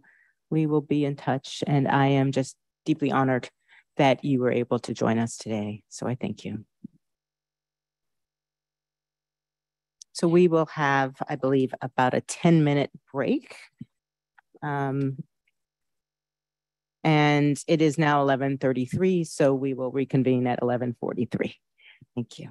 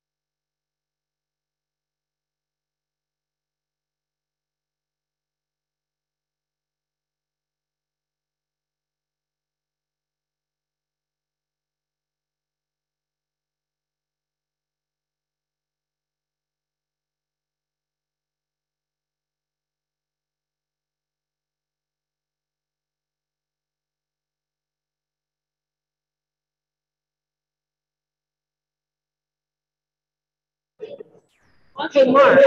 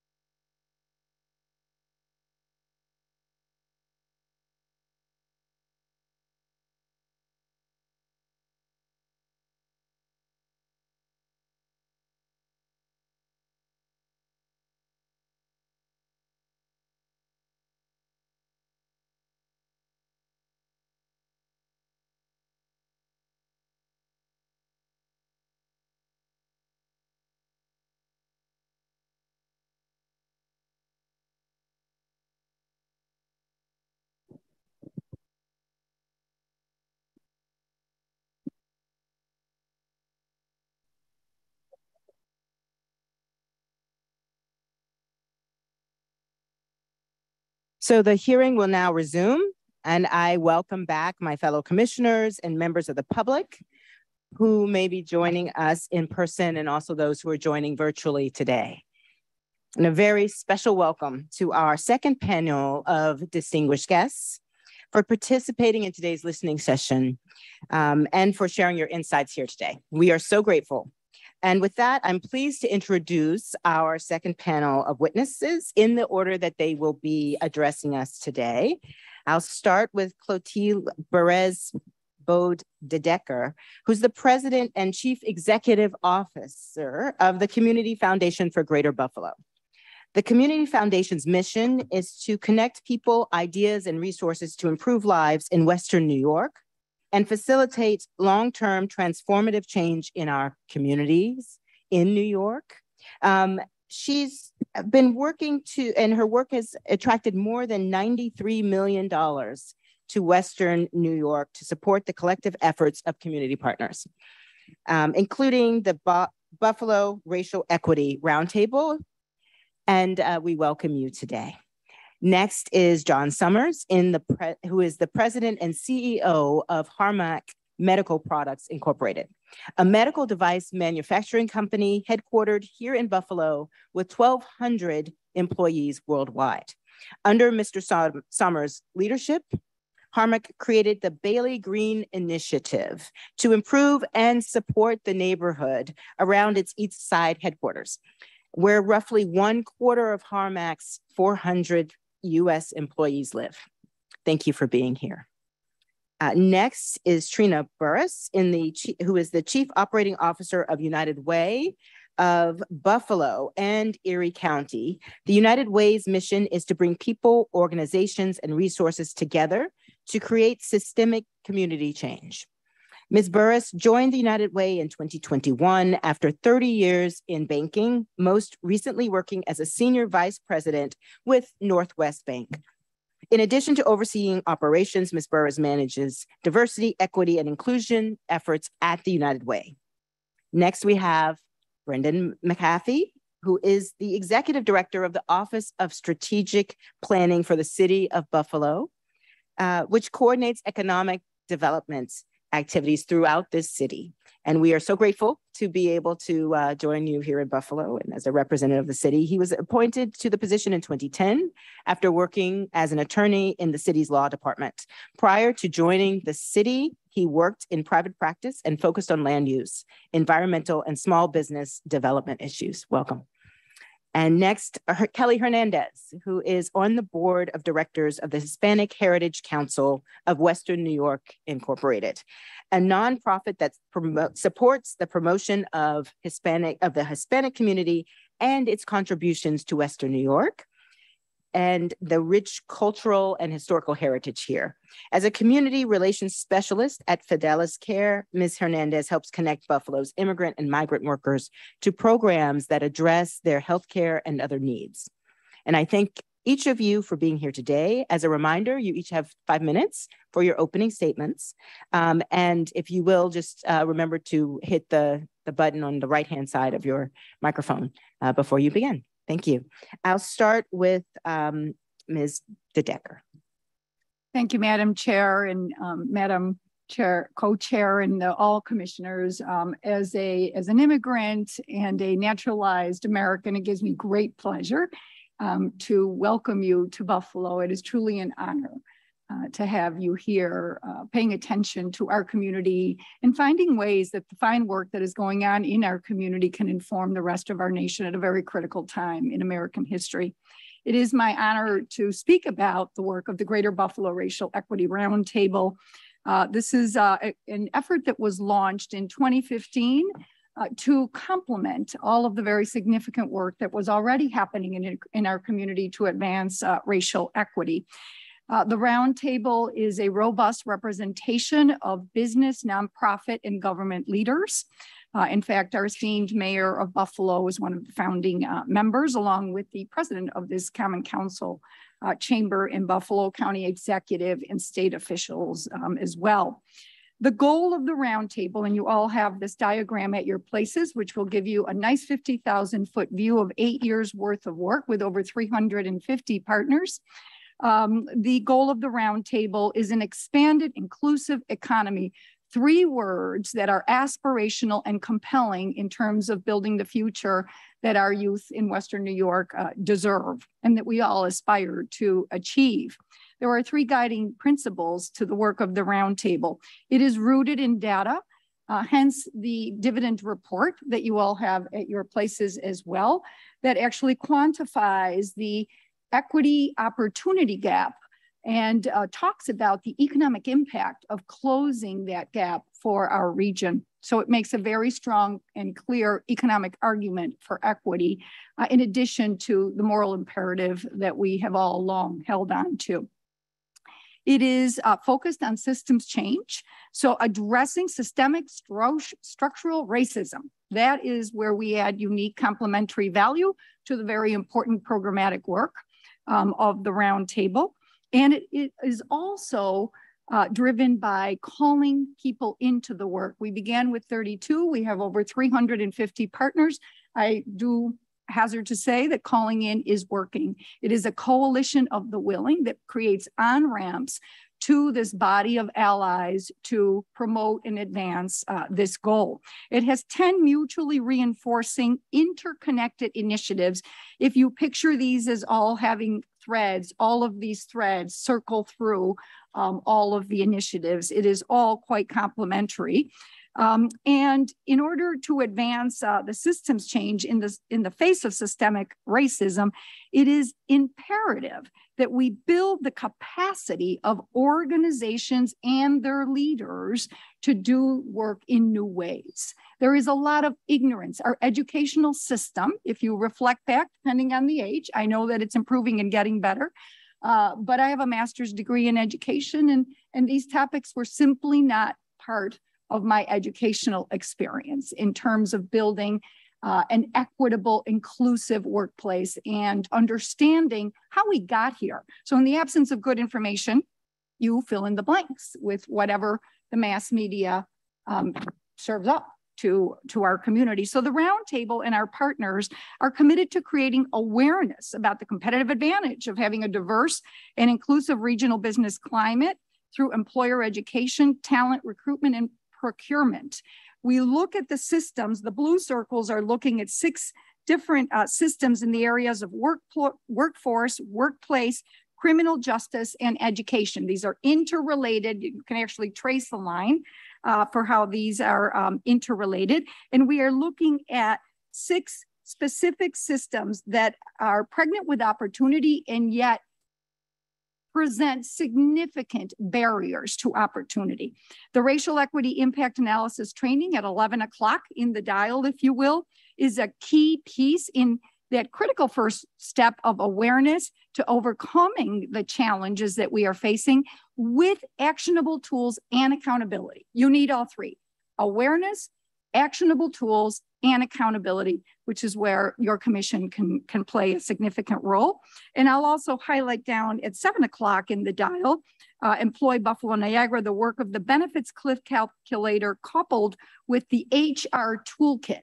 So actionable tools that are plug and play that employers can, can access as to how the policy should look that will help you build a thriving, connected, engaged workforce.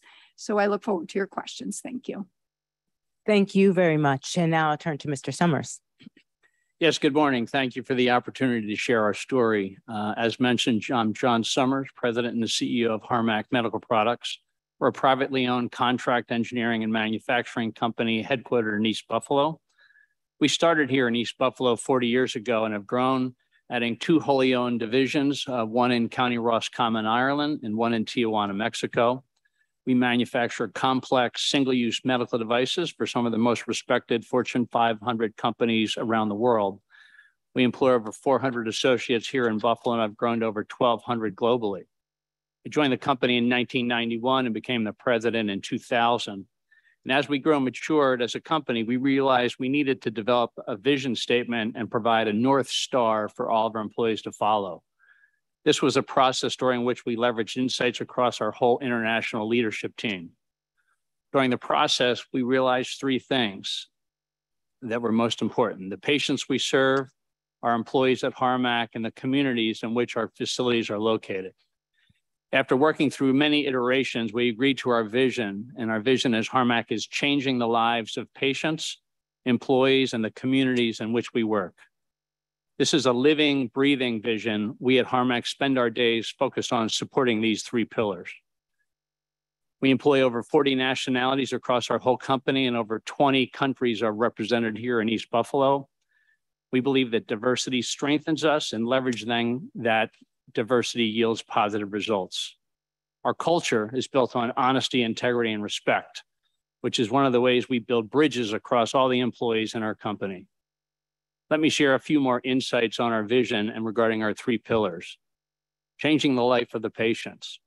Quality is the most critical factor in our company, and we continually reiterate this across all our employees. It's also important to note that everyone's role and responsibility directly impact the lives of the patients we serve through the medical devices we manufacture. This spans all roles at our company, whether you're a quality engineer designing product validation programs, an operator assembling products, or a facilities maintenance person keeping the facility clean. So when everybody walks in in the morning to a shiny, clean feeling building, they feel positive and they're engaged to focus on changing the lives of the patients we serve. For our employees, we believe it's important to positively change their lives. So we've developed a range of programs to support their well-being, trying to make life a little bit easier or assisting them with career opportunities.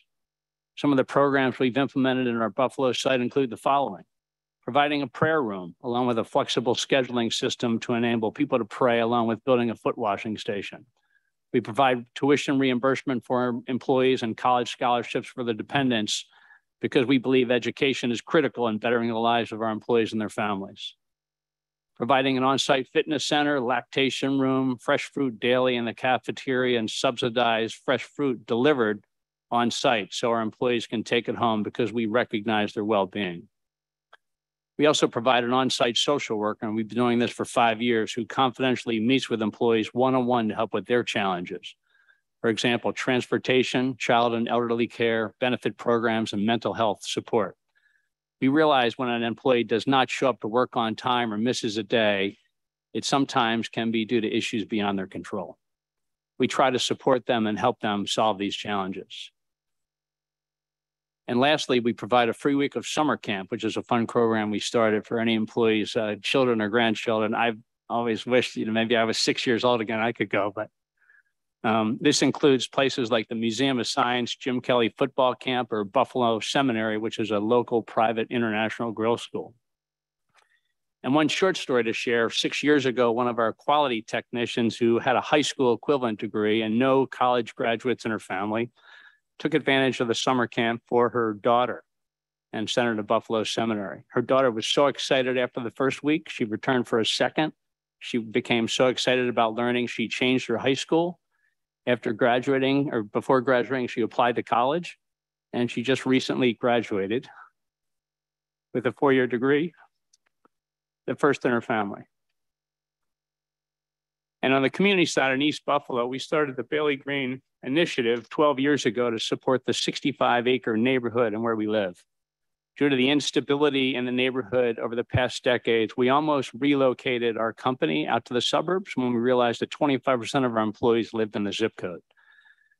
With that understanding, we knew we couldn't abandon our employees, and so we, we began to invest in the neighborhood. And we're located on Bailey Avenue, so we came up with the name of Bailey Green. In 2015, through a teamwork with the University of Buffalo Architecture and Urban Planning School, we crafted a strategic vision for this neighborhood. And as that vision greens to reality, we thank our partners who shared our passion for the East Side. Habitat for Humanity has built 15 homes and brought in 15 wonderful families into the neighborhood. Of the first five families, three of the members became employees of Harmac. Groundwork Garden, Groundwork Martin Gardens, um, Market Gardens, led by Maida Posantiti and Anders Gunderson, converted a two and a half acre abandoned land into a certified organic farm, growing and selling fresh vegetables to over 10 restaurants in town. In addition, they help the neighbors grow their own vegetables and they provide free produce to over 10 families in the neighborhood. The Western Economic Initiative, other known as WEDI, started a microloan program in 2009 and has loaned over 1.4 million to 113 minority-owned inner-city business owners. They're expanding into East Buffalo and selected Bailey Green for their second site. Harmac, along with other partners, will be donating and renovating a building for their new office. And lastly, the Western New York Peacemakers have been a positive influence in Bailey Green and will soon be a more constant presence and will provide support for the neighborhood with their youth mentoring and anti-gang initiatives. We continue to expand our initiatives and partners to bring safety, health, and opportunity to this East Side neighborhood. Thank you for the opportunity to share our story. Thank you. Uh, I'll turn now to Ms. Burruss. Go ahead. Thank you so much, Commissioner Burrows. And I want to thank the EO, EEOC for coming here to our community today and allowing us to be part of this very important discussion. I, uh, I am here uh, on behalf of the United Way, but more importantly, on behalf of the community members, the 40% uh, who live in uh, financial hardship. I am honored today to bring you uh, just some remnants uh, of their story at United Way, we focus on and we believe that there are three main pillars that are affecting uh, this population. They concern issues of financial uh, stability, education, as well as various health initiatives. The COVID pandemic uncovered deep systemic inequities and injustices that have long been festering.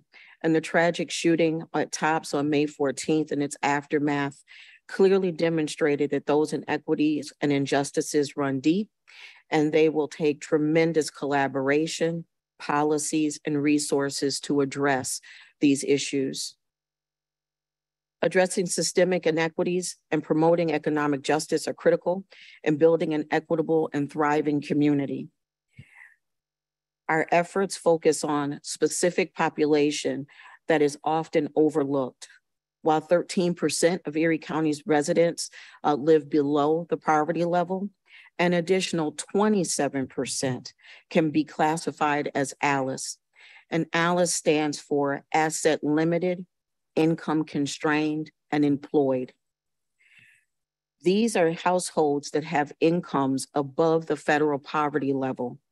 But despite working more than one job, their wages are not enough to support a, house, a household survival budget. Just the basics like housing, utilities, food, childcare, medical care, and technology. It is important to note that these numbers influencing the federal levels are not commensurate with the current cost of these necessities. When we look at the total population living in financial hardship, the 40% of Erie County households that are either below the poverty, poverty level or in the ALICE category, there are significant inequities we find in the data. 26% of white households live in financial hardship but that number increases dramatically to 36% for Hispanic households and 38% for Black households.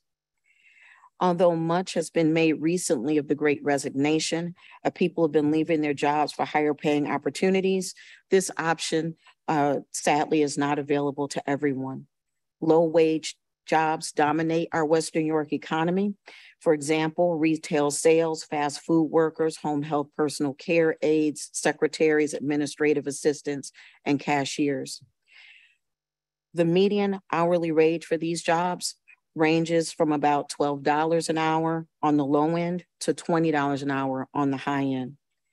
The federal poverty level for a family of four is 26,200, an incredibly low number but the ALICE threshold when it take what it takes to just get by um, for that same family size is $76,908. So based on a 40 hour work week, a family would have to be earning nearly $37 per hour to hit that mark. Looking at the wages for our community's most common occupations, the struggle for families and financial hardship is clear if we as a community are going to break the cycle of financial hardship and advance racial and equitable ju economic justice in the workplace, we have a lot of work to do, but we must do it together. Some of the ways we try to, to do this work is by convening an Alice Advisory Council. This is made up of individuals who are the stories behind uh, the statistics that I stated. We have programs such as Work Life Solutions that are providing support for those issues that are non-work related but emergent and prevent employees from being able to show up as they would like. We're doing work with the federal government to bring programs such as VITA uh, into our community to provide uh, free tax refunds to individuals and bring awareness uh, to the various uh, programs that are available, such as the EITC and the child and the CTC. Um, these things are all critically important and we recognize this uh, at United Way. And again, I want to thank you for coming to our community and allowing me a moment or two to talk about the ALICE population and those living below the federal poverty level. Thank you very much. And I'll turn now to Mr. Mehaffy. Please go ahead. Well, thank you very much uh, for the opportunity. Thank you for the to the Equal Employment Opportunity Commission for pursuing its critical mission and for coming to Buffalo to hold this listening session regarding advancing racial and economic justice in the workplace also seeking input on your priorities for the next five years and addressing racial and economic justice in the agency's 2022-2026 strategic enforcement plan. It's also uh, an honor to speak with these speakers here today and the others that have been uh, on the panels. And the point that uh, I intend to address today is the relationship as a, a fellow uh, government um, entity that in uh, this region, government is one of the largest sectors of employment. Uh, and under the leadership of Mayor Byron Brown, the employees of the city of Buffalo now uh, reflect the population that they serve. Uh, the city of Buffalo has the most diverse and inclusive workforce in its history. This did not happen by accident. This was the result of very intentional effort by the mayor and the council in the city of Buffalo. Mayor Brown signed executive orders directing executive staff and city government to search for the most diverse pool of candidates as part of the hiring process. In effect, the mayor formalized the Rooney Rule for city government. As part of the hiring process, uh, the city of Buffalo reaches out to community organizations, organizations representing minority professionals, and many others to again make sure that pool is as diverse as possible in areas of city of uh, employment where finding a diverse pool of candidates is an issue, the Brown administration has taken active steps to prepare minorities uh, for the opportunities and the positions. BPD 21C was created to actively recruit and educate a diverse and talented group of future police officers who reflect our city's demographics. Training programs for lifeguards and other laborers within the city of Buffalo are also um, uh, undertaken. There are also efforts focused on returning citizens specifically, a population that is disproportionately minority, to make sure that they are able to take advantage of the workforce opportunities of cities employees and also with our contractors, where we partner with the Center for Employment Opportunities to um, uh, assist with the work that we undertake in our neighborhoods. Work has been uh, undertaken to uh, introduce our youth and young adults uh, to the employment opportunities in the city of Buffalo through the Mayor's Summer Youth Program, the VISTA program, and many others.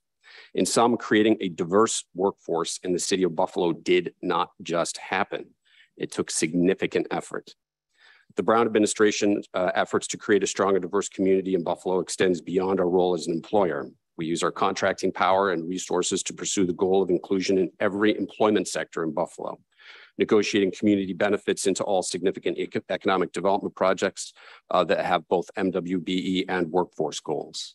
The hiring of the City of Buffalo's first Chief Diversity Officer and one of the first uh, in, in the country vigorously monitoring our contracts to ensure compliance with local, state, and federal diversity requirements, an Office of New Americans. Again, the Mayor's Summer Youth uh, introducing our, our youth uh, in from our neighborhoods to many of the different employers in the city of Buffalo.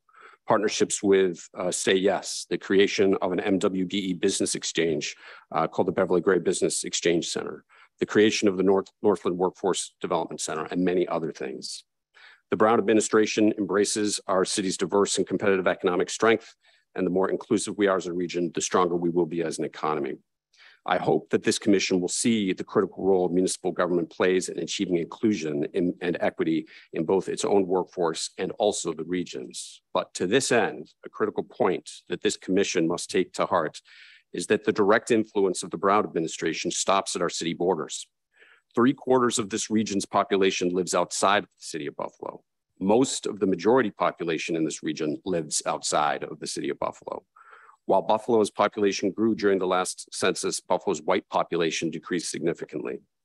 EEOC should always keep in mind that the governance structure changes significantly between regions in the United States.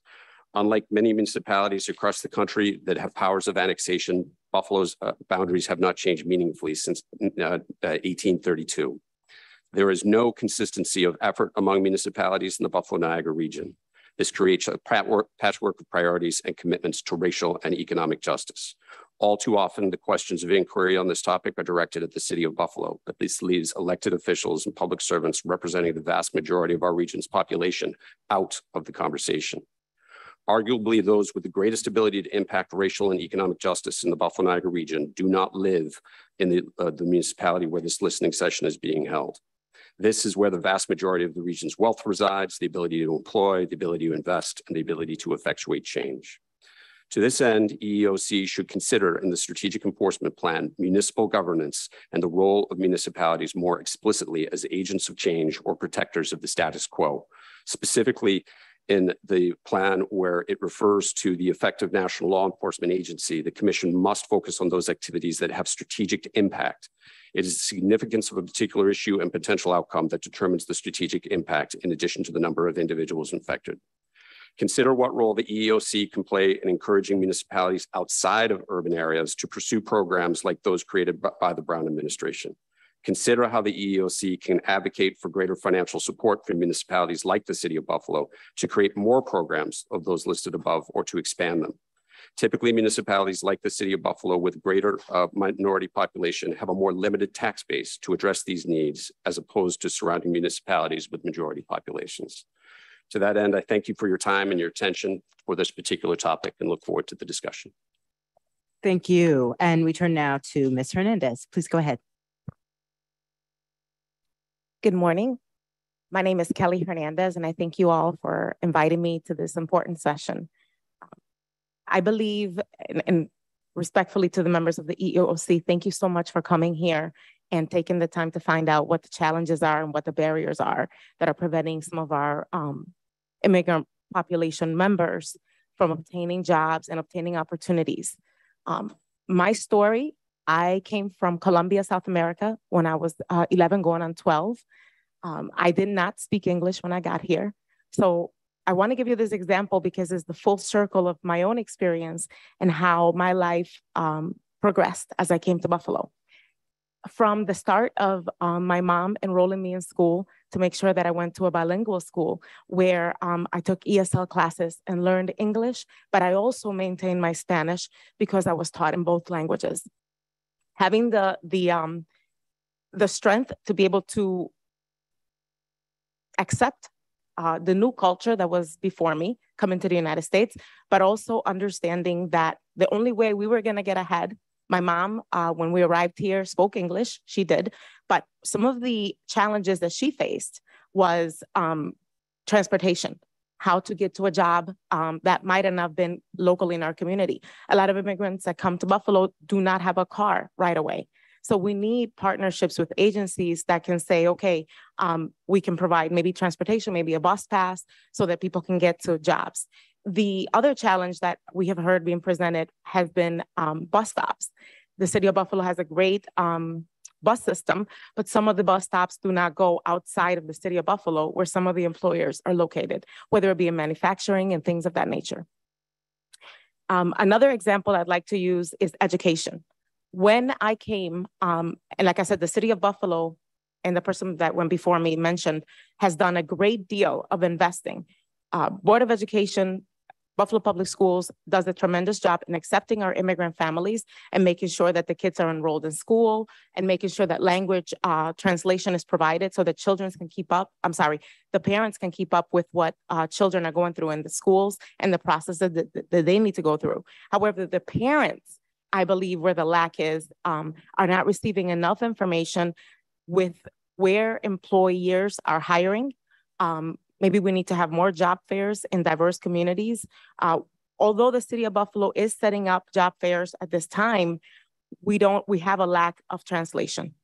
We need to make materials available in different languages so that people know where these job fairs are taking place. Um, we need to have people have transportation to get to the job fairs as well. There needs to be a direct liaison between the employers and the employees. There needs to be a middle, a middle agency, if you will. Um, if there was a way to have the employers reach out to the community and say, hey, we need um, X amount of employees to fulfill X amount of positions. How do we connect that employer with an agency that will fulfill or that will gather the employees to go out and work? But if there's an issue, if the company has an issue with an employee, how do they connect to someone to say, how do we repair that relationship? Um, basically looking for liaisons, the agencies that we do have, um, whether it be the resettlement agencies, um, whether it be where people go to look, for example, we have uh, the BETC, which is the Buffalo Employment and Training Center. They're doing a great job at presenting uh, job fairs. However, how do we get the information in the communities where there are able bodies to work? They just have the language barrier. I think that's the biggest challenge is the language barrier. Um, so connection to employers, connecting the employees to agencies that can help them find the jobs, providing transportation, those are, I think, are the key elements that we need to work on. Thank you. All right. Well, I um, thank you very much. And uh, following that, I will, um, you know, turn now to uh, questions from the commissioners, beginning with my colleague, Vice uh, Chair Samuels. Thank you, Chair Burrows, and thank you so much to all of you for making the time to talk to us today. Your insights are immensely valuable as we think about how EEOC can best marshal its resources to support vulnerable communities on the ground in Buffalo, in surrounding areas, and around the country. So, this is just extraordinarily valuable for us. And I have more questions than I can possibly cover in my allotted time, uh, but I will do my best. Let me start with Ms. Dedecker. Thank you for the materials. I look forward to reading them and congratulations on your initiative in establishing the Racial Equity Roundtable. My question for you is how to make programs like this scalable and whether EEOC can play some kind of bridging or convening role that could enable local entities of the sort that you've gathered here to come together to promote non-discrimination principles, economic well-being, and improvement of the infrastructure of communities to support equity.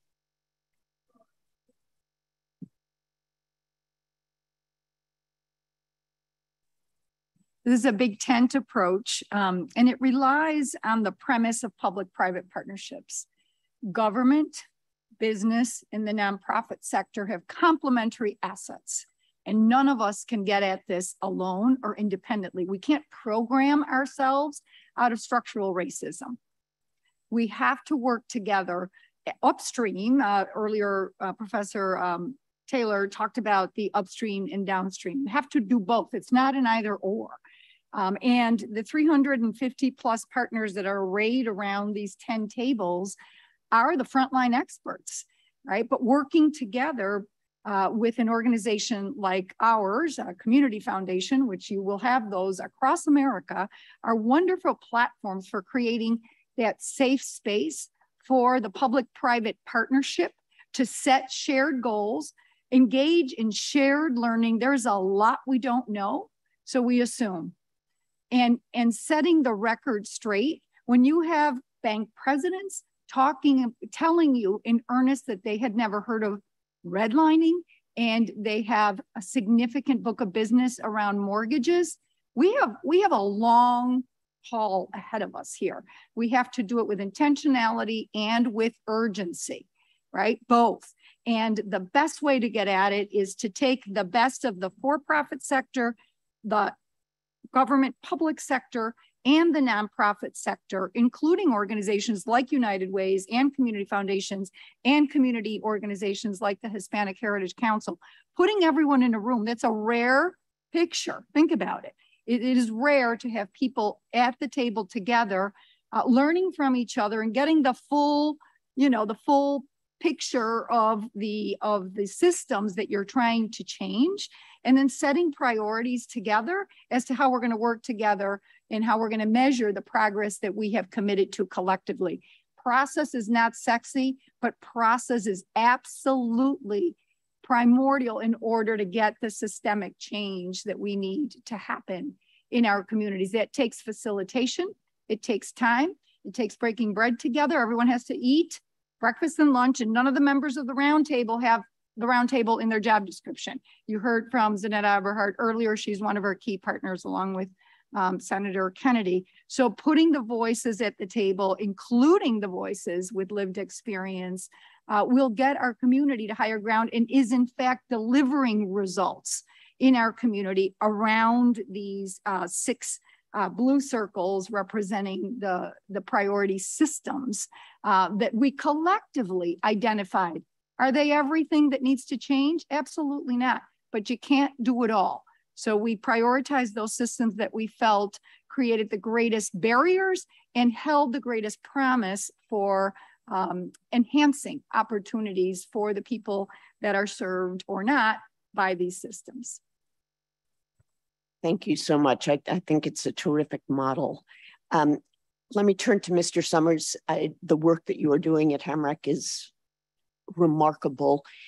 We know from the literature that commitment from the top is something that really matters in infusing inclusion, equity, diversity through a workplace.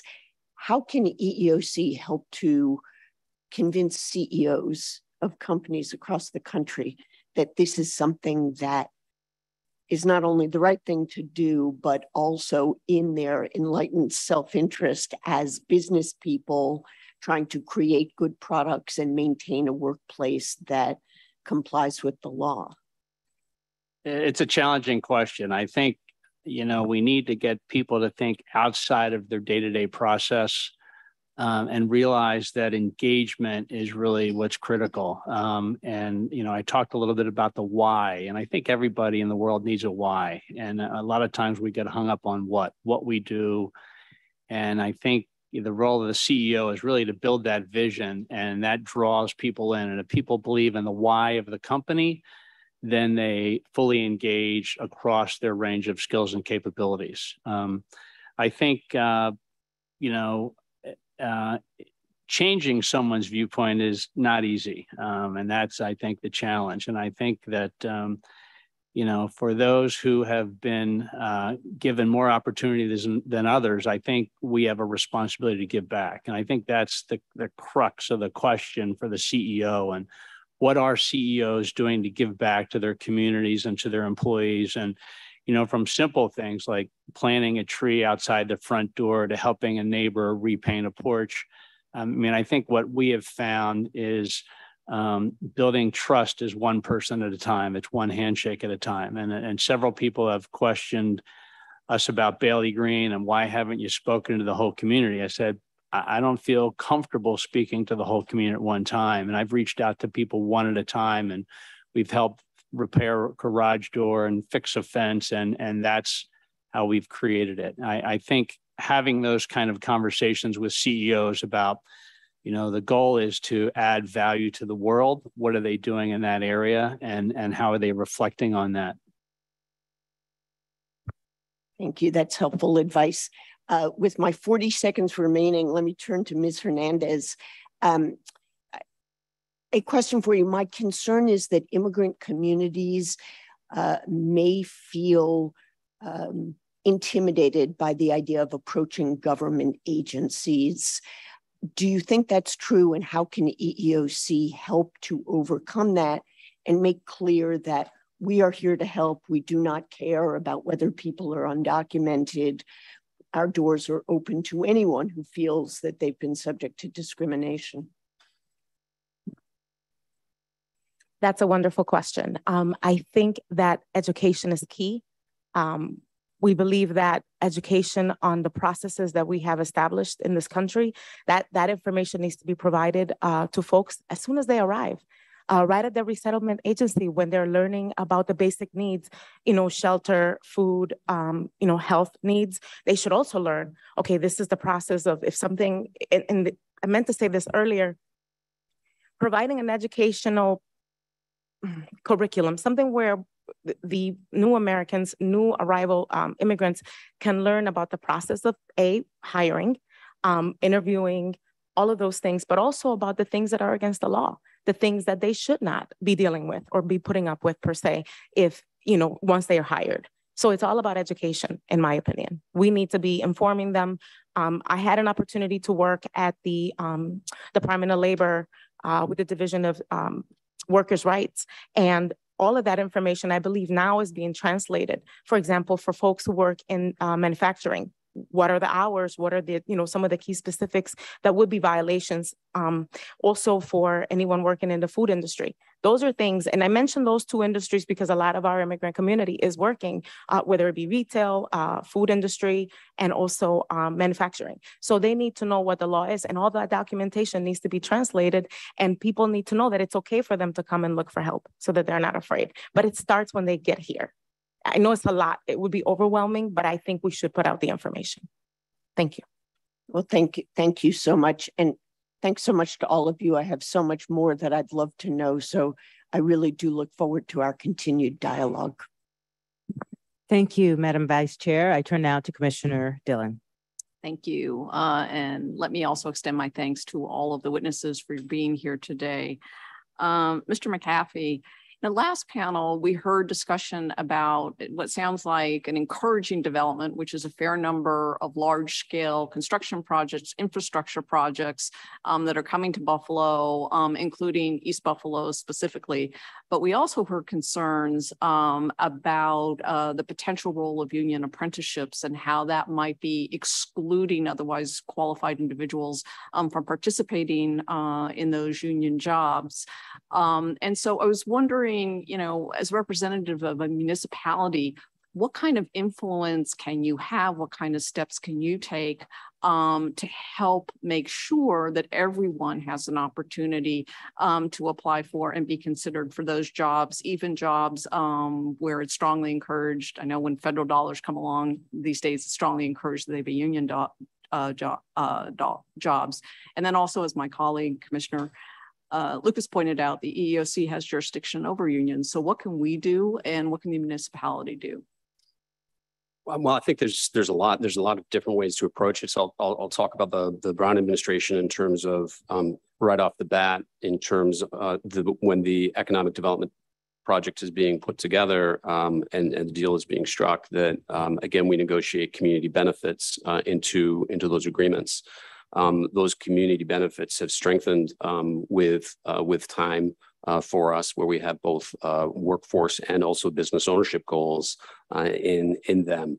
Um, it's strengthened because uh, we're also looking to things that um, might not have been monitored as much in the past. We are stepping up our monitoring as well to make sure that that we meet that. So that's one aspect in terms of creating the demand um, with uh, within our community uh, for a diverse workforce and diverse employment. The other aspect then is also making sure that that we're creating we're, we're making the match with individuals that are seeking the opportunity or individuals that might be seeking some type of opportunity. So the employment and training programs are really critical um, to do for uh, for the workforce. And then, as I mentioned, cr the creation of the Beverly Gray Business Exchange. Um, which focuses on MWBEs, uh, is to create the businesses as well that could take advantage of the opportunity. We found ourselves um, some time ago in a position where everybody was saying nobody's doing enough. So creating the space where we can create that bridge between the demand and then the supply is really critical and being cognizant of, of again, where those opportunities are, uh, seeking actively recruiting, again, both workers um, and, and businesses. Um, so the, the other aspect of that as well, um, to the point of, of leadership, uh, and the individuals who are driving the projects. We've also uh, worked very intentionally to diversify our development community in the city of Buffalo so that the individuals who are proposing uh, the projects uh, actually come from uh, the, the neighborhoods or um, uh, are from the minority population. So in terms of the push at that point in time, it's not, you know, it, they, they, it's not a sell.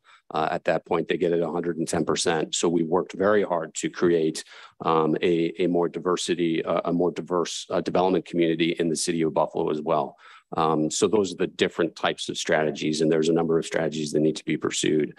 From a union perspective, uh, one of the things specifically that we've talked about is is where those those uh, uh, union shops are located. Um, I, I, think uh, in terms of sending a message, in terms of access uh, uh, to um, to local populations in the city of Buffalo is is is critical as well. So I think that that's um, part of the conversation. I think transparency um, from the unions is also critical to say, as demand is being uh, created, uh, where do you see uh, gaps in terms of diversity uh, with the pools of labor that you have and not waiting for the development project to come along or the opportunity to come along, but being part of actively creating it, before the demand is even created. So I think uh, those are two things specifically with unions that are critical.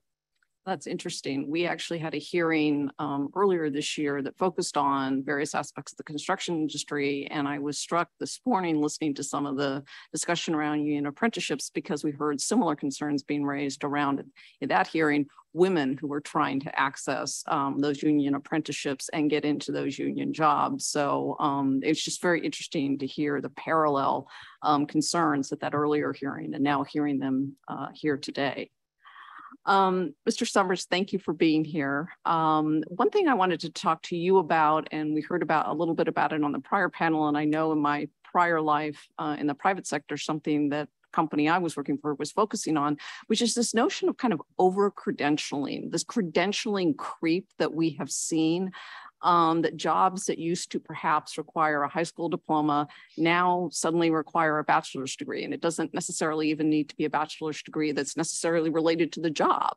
Um, it just has to be that degree and i'm wondering and you know we as we started to work on it again in my prior life we're kind of amazed by what had occurred and i'm just wondering if that's anything you've observed or in your talks with your uh, your your ceo colleagues if they're seeing the same thing and your thoughts around that issue it is an interesting question, and uh, uh, I I have the pleasure to be on the board at the uh, Community Foundation with Clotilde, and Brendan and I have worked together on multiple public partner uh, projects, and uh, you know, with our head of um, human resources, we've actually talked about this issue, and I think companies in, in general, I, I think their intent is probably to drive the capability of opportunities and um, uh, you know, sophistication within their companies without all of a sudden realizing they're putting barriers in place. And so Harmac is actually in the midst of rewriting those job descriptions um, so that we are looking for people who have the energy, the commitment the drive for education, not just the degree. And I think there's a balance there. And I think mm-hmm. maybe uh, there have been studies shown that if there's a job description and it has a whole list of requirements, in general, men say, I'm close enough, I'll go for it, right? But women go, I only have 95%, I'm not qualified. And that's exactly what you don't want. Um, you know, we have a we have a person at Harmac uh, who has been with us maybe four or five years from Africa. He had an accounting degree that was not recognized in the United States. And uh, a year or two ago, we posted an internal job because we post 100% of our jobs internally. And uh, we asked for, we were looking for uh, a chief accountant. And he came up to us, a great person. And he said, You know, I have this degree from Africa. It's not recognized in the United States. And we said, Welcome aboard. And I think one of the other areas where you see uh, over-credentialing, perhaps inadvertently excluding qualified applicants is folks who are coming out of the military, who may not necessarily have a college degree, but have acquired amazing skills, including leadership skills.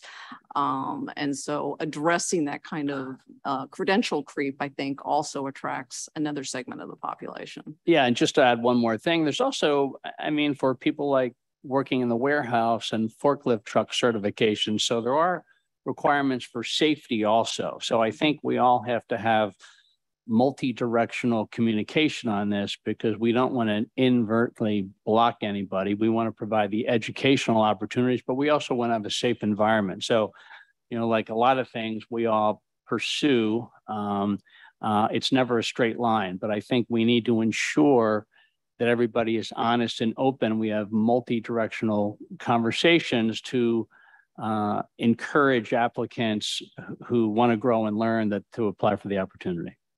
Thank you.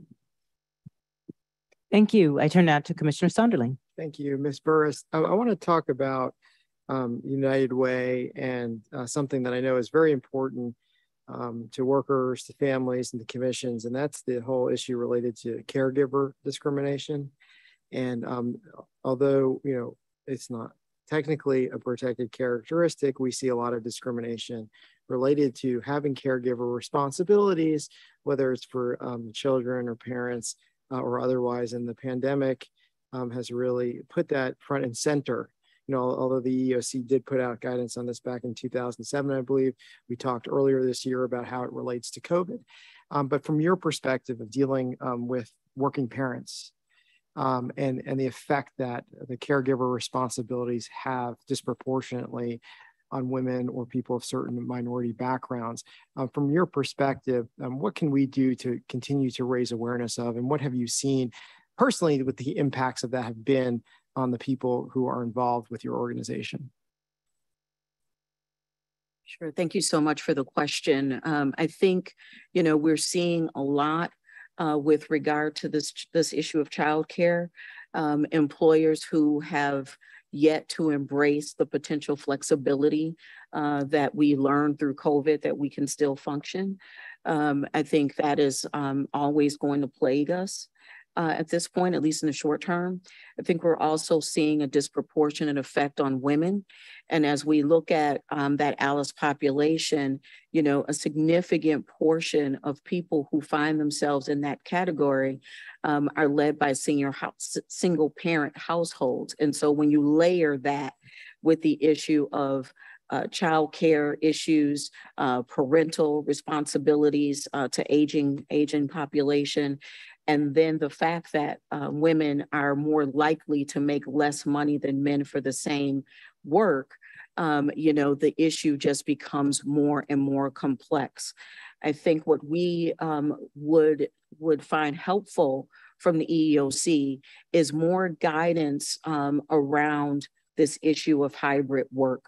Um, what what are the uh, the possibilities uh, with regard to that? What kind of um, enforcement or encouragement can the EEOC give uh, to employers as we struggle, frankly, with how to balance uh, balance this issue? Um, and if employees need to work hybrid uh, because of this issue of childcare or other issues, um, what can we do uh, to encourage employers to do the right thing and leave uh, leave that door open for their employees to be able to do that? Thank you, um, Ms. Hernandez. I want to come to you and um, thank you, you know, all for your being here and your opening statements. I found yours particularly touching with your own um, personal story of coming here and not knowing English. I know at the commission, you know, America is very diverse and a lot of people speak a lot of different languages. We've put out guidance in Spanish and recently we put out guidance in many uh, other languages, not just for employees, but for HR professionals who also English might be their second language as well. But uh, on the topic of, uh, of national origin discrimination, you know, I'd like to know what your experiences are here locally and if that's something um, you're seeing uh, as well as as we heard in the first panel, there's a lot of uh, race discrimination um, historically uh, here in Buffalo that has been really worked hard to eliminate. Just your uh, curious of your perspective on discrimination uh, related to national origin and what we can do to further raise awareness of that. Thank you so much for that question. Um, I would like to say the city of Buffalo, the city of good neighbors. Um, we are uh, very proudly a city that welcomes uh, people from all over all over the world, and you can feel uh, the diversity in our in our communities. Uh, we just celebrated the the Hispanic uh, Puerto Rican and Hispanic Day Parade uh, this past Saturday, and at the same time the um, Taste of Diversity Festival was happening on the Upper West Side, which is um, it's for some of us, it was okay, I'm gonna be here for 10 minutes and then I gotta run over there. And we also had the Asian festival in our waterfront. So as a city, I believe we welcome and we we we have opened our doors uh, to people from all communities. Um, the the matter of discrimination, I think it's not, I think it's felt when opportunities are now being created for our new um, community members, our, our immigrant uh, community members that are arriving to Buffalo, if the opportunities are not there for self-improvement, uh, for job opportunities, how can they thrive? So I think that's where we've opened the doors. We've done a great job with that. Now we need to create the opportunities uh, for people to become self-sufficient. Um, I think, again, providing education um, is key. We have, we are blessed with so many colleges in our area we want to see those colleges come to the communities where our, our uh, immigrant population is living and saying here we have opportunities for education this is what we have so that people can be self-sufficient um, connecting to the employers, making sure that they come to the neighborhoods and have their job fairs. Um, I'll give you a quick example. A number of years ago, I worked with an organization called Hispanics United of Buffalo. Hispanics United of Buffalo, I believe, had a position for an employment specialist that was funded by the state. This person, their job was simply keeping in touch with all the companies in the area when those companies needed employees, they would call us, they would call Hispanics United of Buffalo and say, can you fulfill these? Can you help us fulfill these positions? There was even training for the trades where they would come and do the training and these individuals could be paid for training time and almost guaranteed a job. Those positions are no longer in existence. I, I called them specifically because I was getting ready for this panel. And I said, hey, do you still have that position where someone can call and ask for a job? Well, no, they don't, they couldn't afford it, so they don't have that position available anymore. I'm not sure if that's available in other agencies, but I'll go back to the same thing I said in, the, in my beginning statement. We need to create the relationship between the private sector, the community, so that our people that are in need of jobs, these are able bodies that are ready to work, but we need to provide the translation, the language barrier, some of those issues, and then bring the employers into the community to create those opportunities. Thank you. In my, in my remaining one minute, a quick power round for the three of you. You know, they say imitation is the, um, the sincerest form of flattery. Some call it theft. You've all three of you have done unbelievable work, but you've all admittedly said that you're limited to your company, you're limited to the city of, of Buffalo, and, and to you, to your foundation here. What could we steal from, uh, if there's one thing we could take away I won't use the word steal, but I did. And what can we take away and then try to implement it nationwide where we have the jurisdiction to be able to do so? You know, what would be the one thing from all this hard work, from, from the benefits and the potential pitfalls that you faced implementing these wonderful programs that we can take away nationally?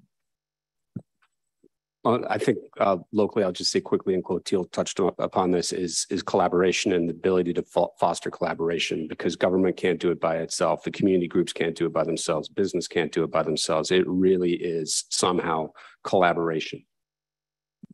I think also identify the challenging communities and identify an anchor tenant in those areas. And, and how does that person or company or organization that's already living in that, they're experiencing this, how can you help unlock their challenges, provide additional resources so on a day-to-day basis they can positively impact the neighborhood in which they're located? Cross-sector partnerships and investing in building the capacity of employers. Thank you. We did the power round. Great job. Thank you. Excellent. Well, now I'll go to Commissioner Lucas. Thank you.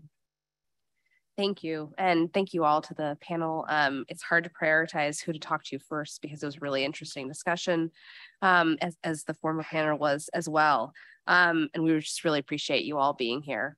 Um, I was wondering if any of you could speak to uh, the race or national origin challenges faced by Buffalo's Asian community um, in light of, I know that there is one that there was recently an Asian festival, um, and we've heard from a few other racial uh, groups today. So I wondered uh, if there are any particular things we should be focusing on in terms of Buffalo's Asian community?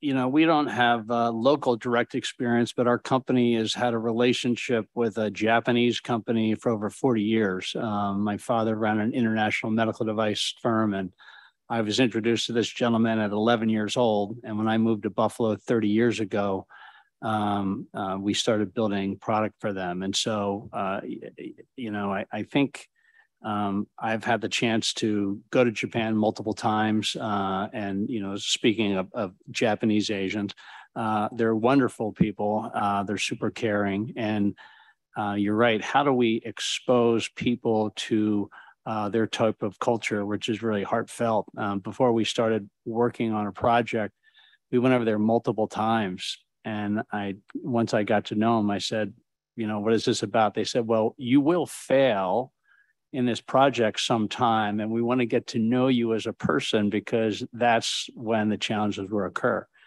And uh, we have, and we're still working together after 25 years. So uh, that's just kind of anecdotal, but uh, I mean, I have found that the the, the Asians are huge, uh, heartfelt, lifelong people. And uh, when I read about these issues, I I just can't even fathom why people do that. Maybe Ms. Becker, do you do any work around the Asian immigrant population in Buffalo? Um, we do a lot of work um, around uh, racial equity, racial ethnic equity is what we, um, how we term it. Um, and again, as um, like Kelly, I came when I was nine years old without speaking English and felt a tremendous uh, warmth and welcome. And uh, public sector safety net right on through um, our current uh, experience as a family. And it, it is a city that welcomes immigrants and refugees. Uh, and celebrates the growth. Brendan spoke to the growth that Buffalo has experienced that has in large part been driven by us being a federal resettlement community with five resettlement agencies. So it is, um, proportionately speaking, it's a very small uh, portion of our population. Our um, racial ethnic diversity is first and foremost African American and then Latinx in terms of proportion um, for um, the region. And um, the, the intent here is opportunity for all and celebrating our human capital, uh, which, is, which is really central to our future. Thank you. Uh, yes. I wanted to add, um, as a member of the Hispanic Heritage Council, um, I've had the opportunity, we've had the opportunity, we've been invited uh, to um, some of the events with the um, Chinese American Chamber of Commerce. I have to say one word that was um, expressed earlier, and the word is collaboration. The more our community agencies stop thinking about what can I do just right here but and expand and broaden the horizon to bring everyone together to the table to see what we can do um, as, as agencies and what we can do for the people that we serve. Um, in, on Buffalo's West Side, and I'll use as a prime example, um, the, in the future, we're looking to build our Hispanic Cultural Center. That's not just going to be for Hispanic uh, heritage. It is now uh, taken into consideration that we have Somali, we have uh, Bengali, we have um, uh, different um, immigrant populations uh, that have come from Africa on the Upper West Side. So an example was uh, the parade this weekend. There were people from different nationalities, and we invite them to bring the flag and and cheer on. But in terms of sitting down and, and trying to fill the gaps that currently exists, I think agencies need to come together. So if we can bring the Asian, Amer uh, I'm sorry, the Chinese American um, uh, Chamber of Commerce, his, uh, the, the Hispanic Heritage Council. I also know there is an Indian Association. I've been working very closely. We've seen the growth of the Bengali population in Buffalo um, to the effect where now uh, Buffalo Employment Training Center is doing Bengali oriented job fairs. Mm-hmm. So I, I, I, think there is so much room for growth here. We, we, I think this is the time and Buffalo is, the, is the, the right place for it. Thank you. I appreciate you talking about collaboration. I think it's important to to see the the shared lines that can be across different groups language access certainly transportation probably all immigrant populations there's a lot that's similar as much as there is different um, i wanted to uh, ask you ms hernandez just following up on that um, some of the the um, in terms of language access as well as uh, immigrant communities how has uh, how can we do better in terms of reaching out um, in terms of our outreach um, that outreach also will lead to what we can enforce. We, we know about that. The agency has been closed during much of the pandemic to the public, and much of our outreach events have been virtual. Um, but I know that many immigrants face access to technology. Um, you know, the fact that you can use a smartphone might not be the same as having a, a desktop computer. So I wanted to hear um, how that might have affected our outreach and, and likewise our enforcement. I've had Thank you for the question. I've had an opportunity to work with um, Buffalo Board of Education Adult Education Department, where um, they have several locations where um, new arrivals, um, new new immigrants, and um, others can also come and learn English. We've seen that they um, there's a lot of ESL education going on.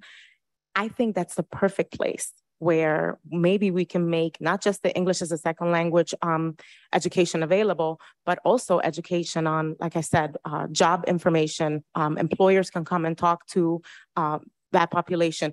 I myself, um, through Fidelis, have come out to do information on health. We do something called Healthy Reminders. You must have a physical. Please get a physical if you're looking for a job. Um, make sure you have a primary care doctor. Don't just use the emergency room as your resource. You need a primary care doctor. So if we're out here teaching and, and educating, um, I believe your agency can do the same and come out and educate our, our folks and to you know what their rights are as, as employees and what things they can learn to recognize could be a violation of their rights and things of that nature so but outreach can definitely happen um at, i would start there because that's where people are thank, thank you, you. Um, with my remaining time left, Mr. Somers, I wanted to just commend you for um, staying in Buffalo and for the efforts that you've done there. Um, and because I know manufacturing leaving this region has often contributed to significant barriers to uh, access to good employment. I did want to ask though, um, to the extent that you had been thinking about leaving or to the extent that you chose to expand to Ireland or, or Mexico as opposed to uh, further investment in Buffalo, what, what are the barriers that you're facing um, in terms of staying here? Um, and how could uh, other manufacturers or, or your company in, in particular uh, further create good jobs uh, in this region? Yeah, that's a great question. I mean, we expanded internationally because we serve a global market and our customers sell around the world. So we need to manufacture multiple locations. Um, and for example, now we make a very sophisticated product in our company in Ireland and also here. And uh, the customers basically say, we appreciate your efforts. And if there's a disaster in one facility, we assume we're still going to get the product the next day. And so we need to structure our company in such a way to do that. Um, you know, as we grow in the competitive market, uh, we also are uh, adding high levels of, levels of automation sophistication. Our competitors are in China, they're in Europe, they're in South America. So um, it's it's a challenging space. We drive a lot of innovation. So um, I think as we grow and how we continue to grow is to provide internal education and training to continue to grow uh, those positions. So, but uh, it it's definitely a challenge. And when we were looking at a second site uh, back 25 years ago, we were looking down the street. But for our space serving a global market, having another building down the street would not meet our customer needs. And so there's always a balance between your customer needs and growing the employment. And that's one of the things uh, that we're, we're always faced with. And I think our footprint works very well now. And I think we're committed to Buffalo and, and all our locations. Thank you. Thank you. Well, I so um, am grateful to all of you for your work today and for your being here to help educate us. I too have a few questions and I fear my time will be too short, but let's begin. I wanted to start with Ms. Dedecker. Um, and my understanding is that uh, as part of the Racial Equity Roundtable, you've been looking at this idea of, uh, I suppose, a racial equity impact analysis training. Um, and I'd love to hear a bit more about that, and in particular, what has been the response from employers that have taken part in these trainings, and what you might say to those employers that are thinking about voluntarily performing these kinds of analyses uh, in the future? Absolutely. Um, I would say it's been a, a, a, very solid response from the community. Uh, we launched, the Community Foundation administers this training, so we organize it. We connect the uh, workplaces with the trainers. It's the Race Matters Institute um, that actually provides the training. Uh, we're a unique community in that we've done this at scale across uh, the sector. So what does that mean? Uh, we pre-book X numbers of trainings, six to eight trainings, up to 10 a year. Um, and they sell out pretty quickly in the beginning of the year. Um, we have 3,822 leaders that have gone through this training. In order for a workplace to go through this training, they need the CEO in the room and the and then the other 29 C-suite leaders, right? Because it's very important that leadership uh, be aligned in leading this particular culture shift in an organization. Uh, they then appoint two coaches that uh, receive additional training and, uh, and are part then of a peer learning cohort, a community of practice across the various workplaces. All of this with the Race Matters Institute um, offering support and continuing education. Um, and it has been an incredibly powerful and I would say transformational um, impact in the workplaces that have participated. We've been very strategic about inviting larger employers first, major nonprofits uh, first, and government agencies first. Again, the cross sector piece here is pivotal. Um, the training is about our shared history. Uh, come to find out, not a lot of understanding of how we got to where we are today and what structural racism actually looks like. Shared language to talk about it, uh, and a tool that helps you center race equity in decision making throughout the organization. And then the, the ask is that the employers will then take this training out throughout the organization.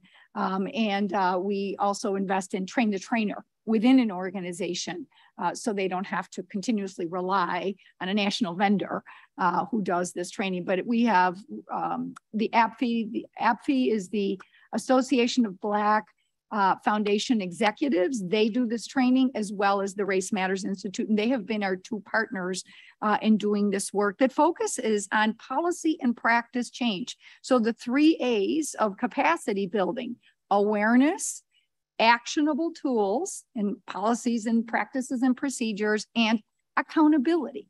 Uh, so we have an evaluation of these workplaces. What's changed? What have been the challenges? Uh, what are you learning? And how can we share this with this community of practice? Thank you. Um, I was going to uh, turn next to Mr. Somers. And one of the things that I hear a lot in speaking to employers and also can imagine you know, that's obviously anecdotal, but others have this question too, is that there are a lot of employers that really want to have a more diverse, equitable, accessible, inclusive workplace, but they just it seems like too big a task to figure out well what are we doing and what where do we go? And so assuming they don't know about the efforts that you've just uh, described um, mr decker what would you just say to them if you were speaking to someone who said that to you no, it, it is an interesting question. Um, but I, I think fundamentally you have to start with a culture and you have to build a culture that cares about others. Um, they talk about things called the no jerk rule. There's another phrase for it, which I won't share here. Um, but I think that has to come from the top down. And you have to have a welcoming culture that lets people in and uh, one that uh, really provides uh, openness for others. I, think the next piece is is really about the vision. We talked about our vision, and you need to engage uh, all your employees at a higher level, not just do this task and here's the training. I think it's all about that why that that I talked about a couple times before, and I think those are difficult things to understand. But I think if people can build a why for their company uh, that's important. Um, and then, you know, if you don't have any diversity, hire people in pairs. Uh, you know, we have a buddy system. If someone comes in with a different language, we already have that person with a language at Harmac, we buddy them up.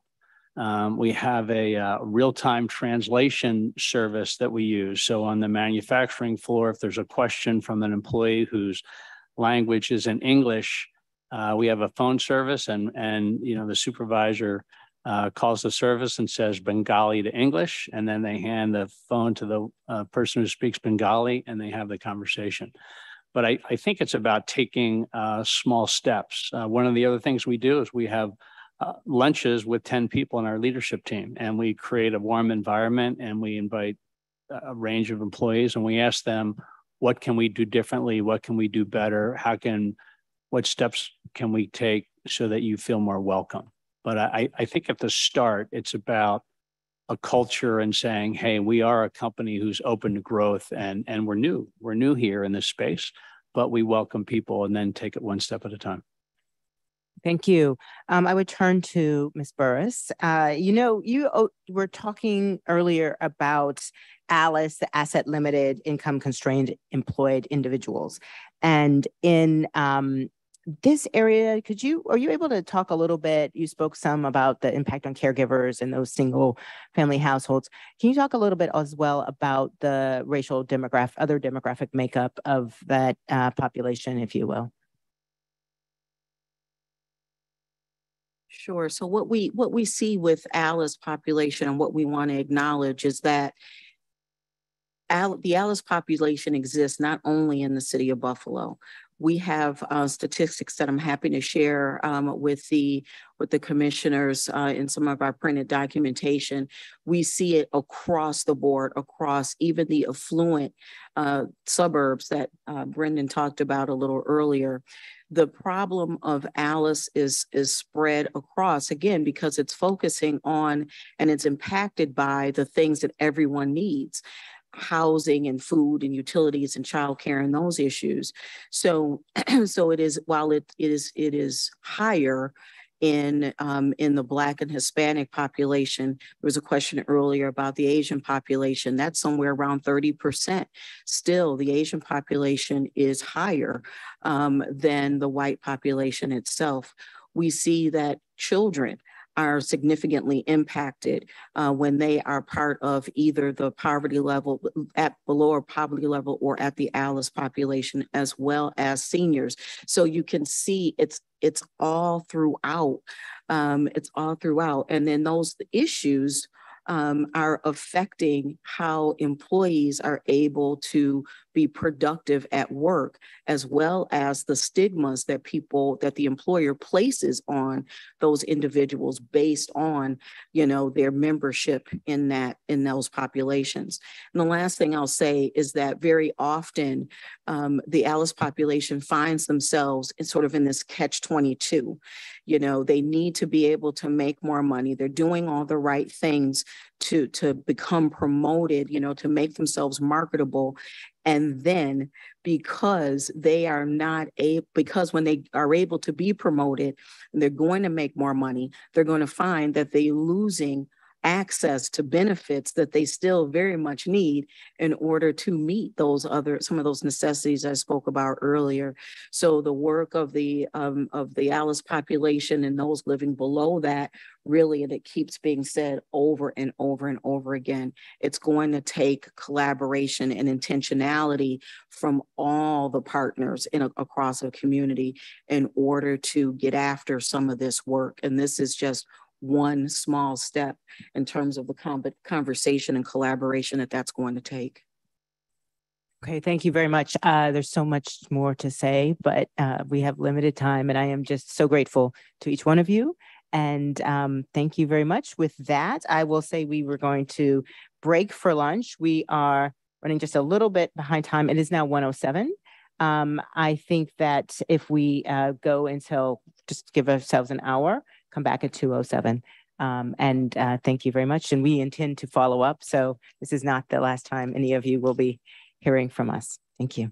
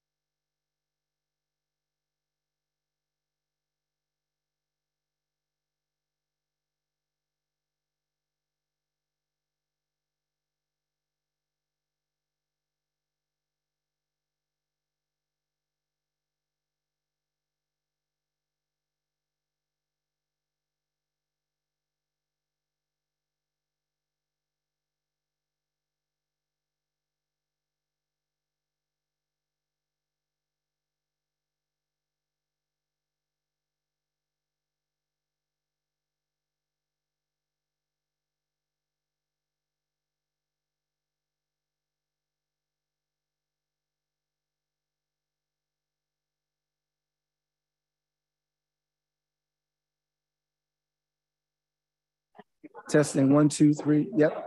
The uh,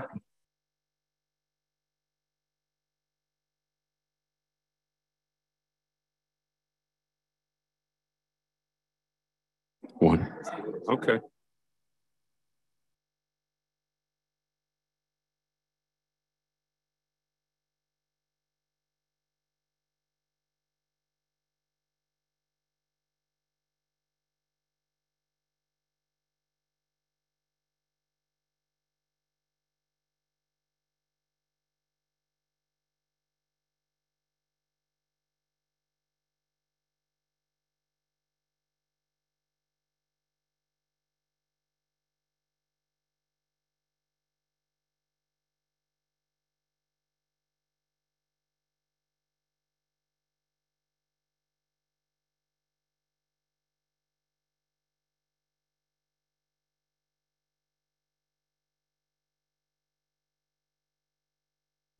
Thank you for joining us today. Um, we are so pleased to be able to continue our listening session on racial and economic justice here in the city of Buffalo.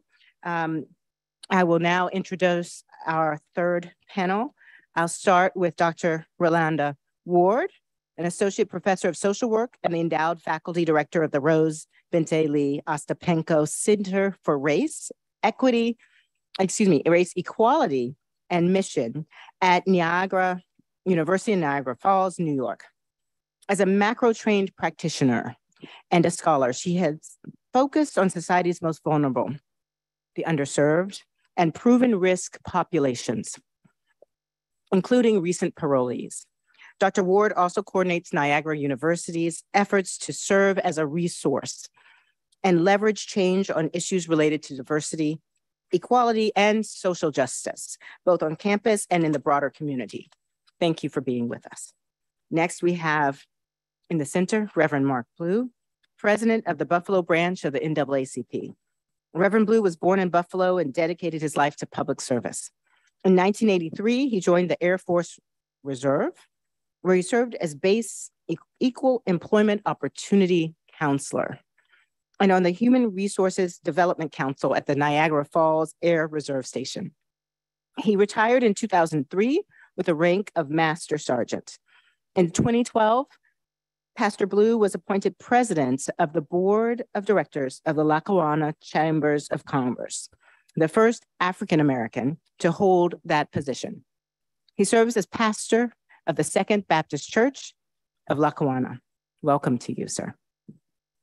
Next, Thomas Beauford is president and CEO of Buffalo Urban League, a position he has held since 2020. He has over 20 years of leadership experience in private industry and community board service. Prior to leading Buffalo Urban League, Mr. Beauford served as vice president at M&T Bank and was a member of HSBC's Banks, Banks Diversity Council and chair of the African Heritage Diversity Committee. Welcome to you, sir. We also have Cindi McEachon. Welcome. She's the CEO of Peaceprints of Western New York, which provides comprehensive reentry services to individuals involved in the criminal justice system in Erie and Monroe counties and works to overcome barriers to employment, housing, and education. Peaceprints provides resources and services to individuals at every stage in the justice system, including pre-release, employment workshops, and assisting individuals with obtaining and keeping employment. Ms. McEachon previously served as the Erie County Reentry Task Force Coordinator and Senior Job Developer at the Center for Employment Opportunities. Thank you all for being here today. As a reminder, you have five minutes each for your opening remarks, and we'll begin with Dr. Ward.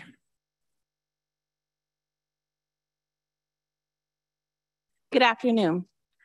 I want to extend my sincere gratitude uh, for the Commission's commitment to addressing racial discrimination in the workplace. Thank you for the invitation to speak to you today. Today, I would like to clarify a few definitions, discuss what constitutes vulnerability for the formerly incarcerated, and offer solutions to pivot this population from well established poor outcomes. As a macro social worker, I am keenly aware that multi-causal and structural theories are essential to the analysis of micro and meso factors that contribute to the development of social problems. Recently, this country has engaged in racial reckoning, which at times has created a great deal of division and at other times provided the momentum for radical changes in how we govern. Our understanding of racial equity has moved us to upgrade our discourse, to disaggregate data, and to consider systemic and contextual factors. Those with criminal justice contact have disproportionate and disparate employment and economic outcomes. And incarceration history places individuals in a unique class, a class of scarlet outsiders. Their cases follow them for life, even if they are juvenile defendants, and their criminal cases keep them on the margins of communities. Most notably, former incarcerated people face obstacles finding stable employment. Work opportunities mainly consist of shift work that engages in just in time scheduling practices, low skills jobs with no benefits, and non union jobs that maintain a cycle of poorly compensated wages. These types of jobs do not guarantee stability or economic mobility. Criminal justice and employment reforms must consider the intersectionality of systemic policies that create moving glaciers for people to traverse. No longer is it acceptable to relegate the outcomes of the formerly incarcerated to subjective assertions of inherent differences and criminogenic risk factors. We must also address systemic and institutional disparities that are distinguished by the existence of laws, policies, practices, as well as economic and political structures that place certain groups at a disadvantage. Our focus here today asks us to identify racial barriers that impede gainful employment. I would like to ask you to consider the question, are criminal background checks accurate of a person's offense or do they perpetuate additional discrimination practices in the workplace? I am here to assert that plea bargains are an underlying criminal justice practice that impacts a person's future employability. For example, one study found that pretrial detention increases a person's likelihood of pleading guilty by 46%. While New York has passed bail reform legislation, our original attempt to equalize pretrial outcomes has come under political fire, resulting in increased judicial discretionary powers. In addition, we now know that there are significant racial disparities in the plea deals, especially for misdemeanor charges, with Black people facing more severe punishment. Research has shown that plea deals send more Black people to prison or jail versus whites. Plea deals do not actually reflect a person's criminal history. As such, employer based criminal background checks are flawed screening tools, screening tools and are essentially additional barriers for this population. They create undue risk for this population.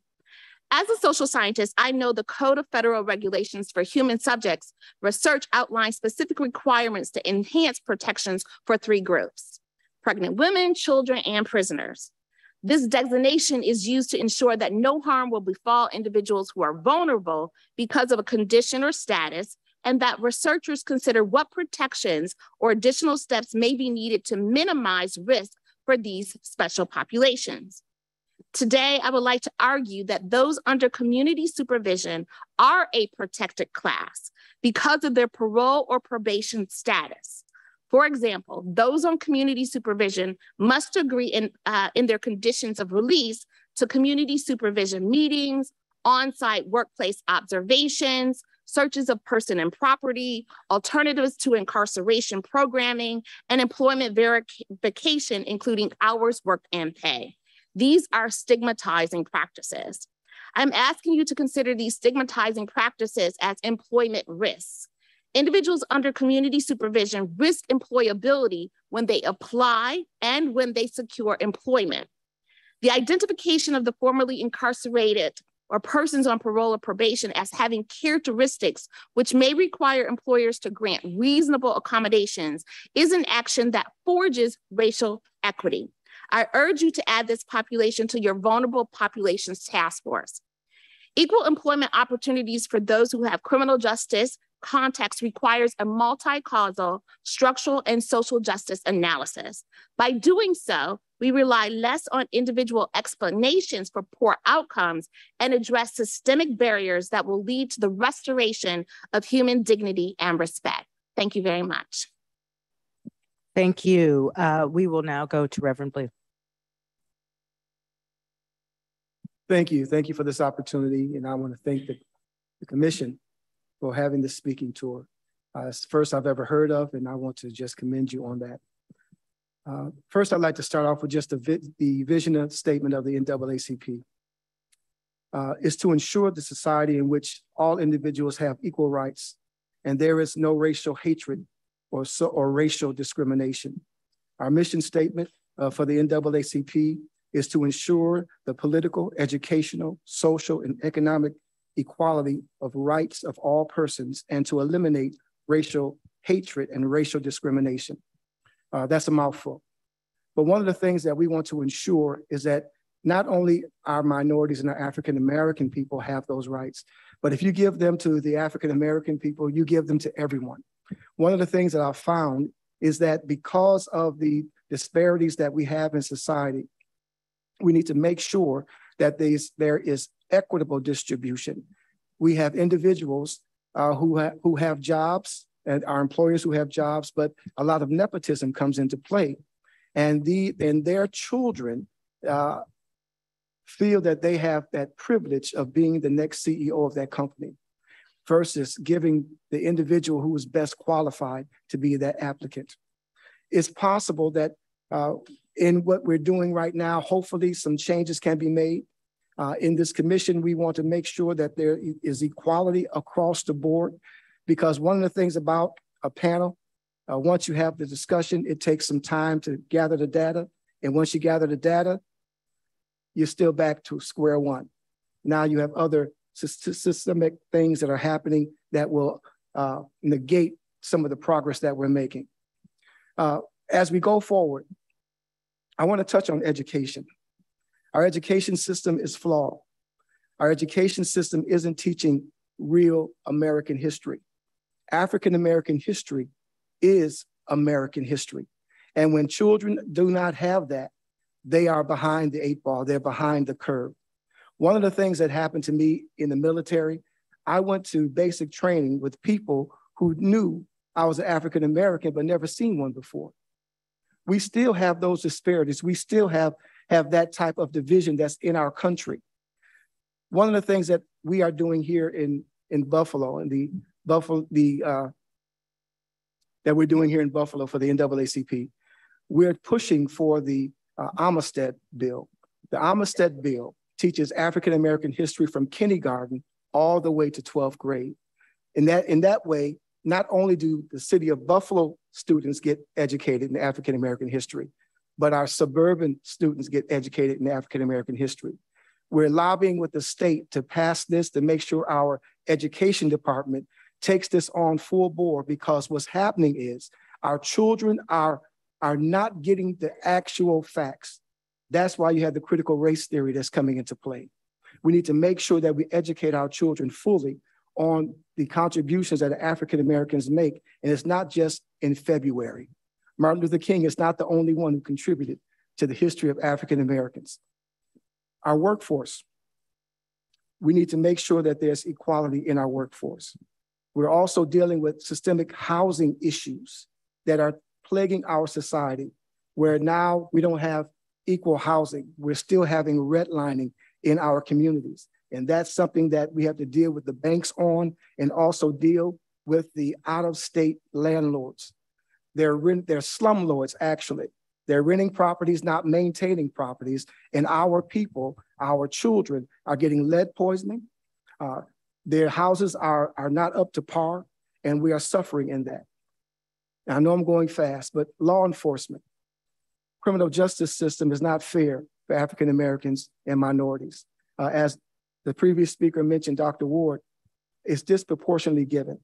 If I don't have enough money for a proper defense, then my option is a plea deal to bargain out to where I go to jail, although I'm innocent. But because I don't have the means to defend myself, it seems like now I have to plea bargain in order to go for a lesser charge. But again, that lesser charge is on my record.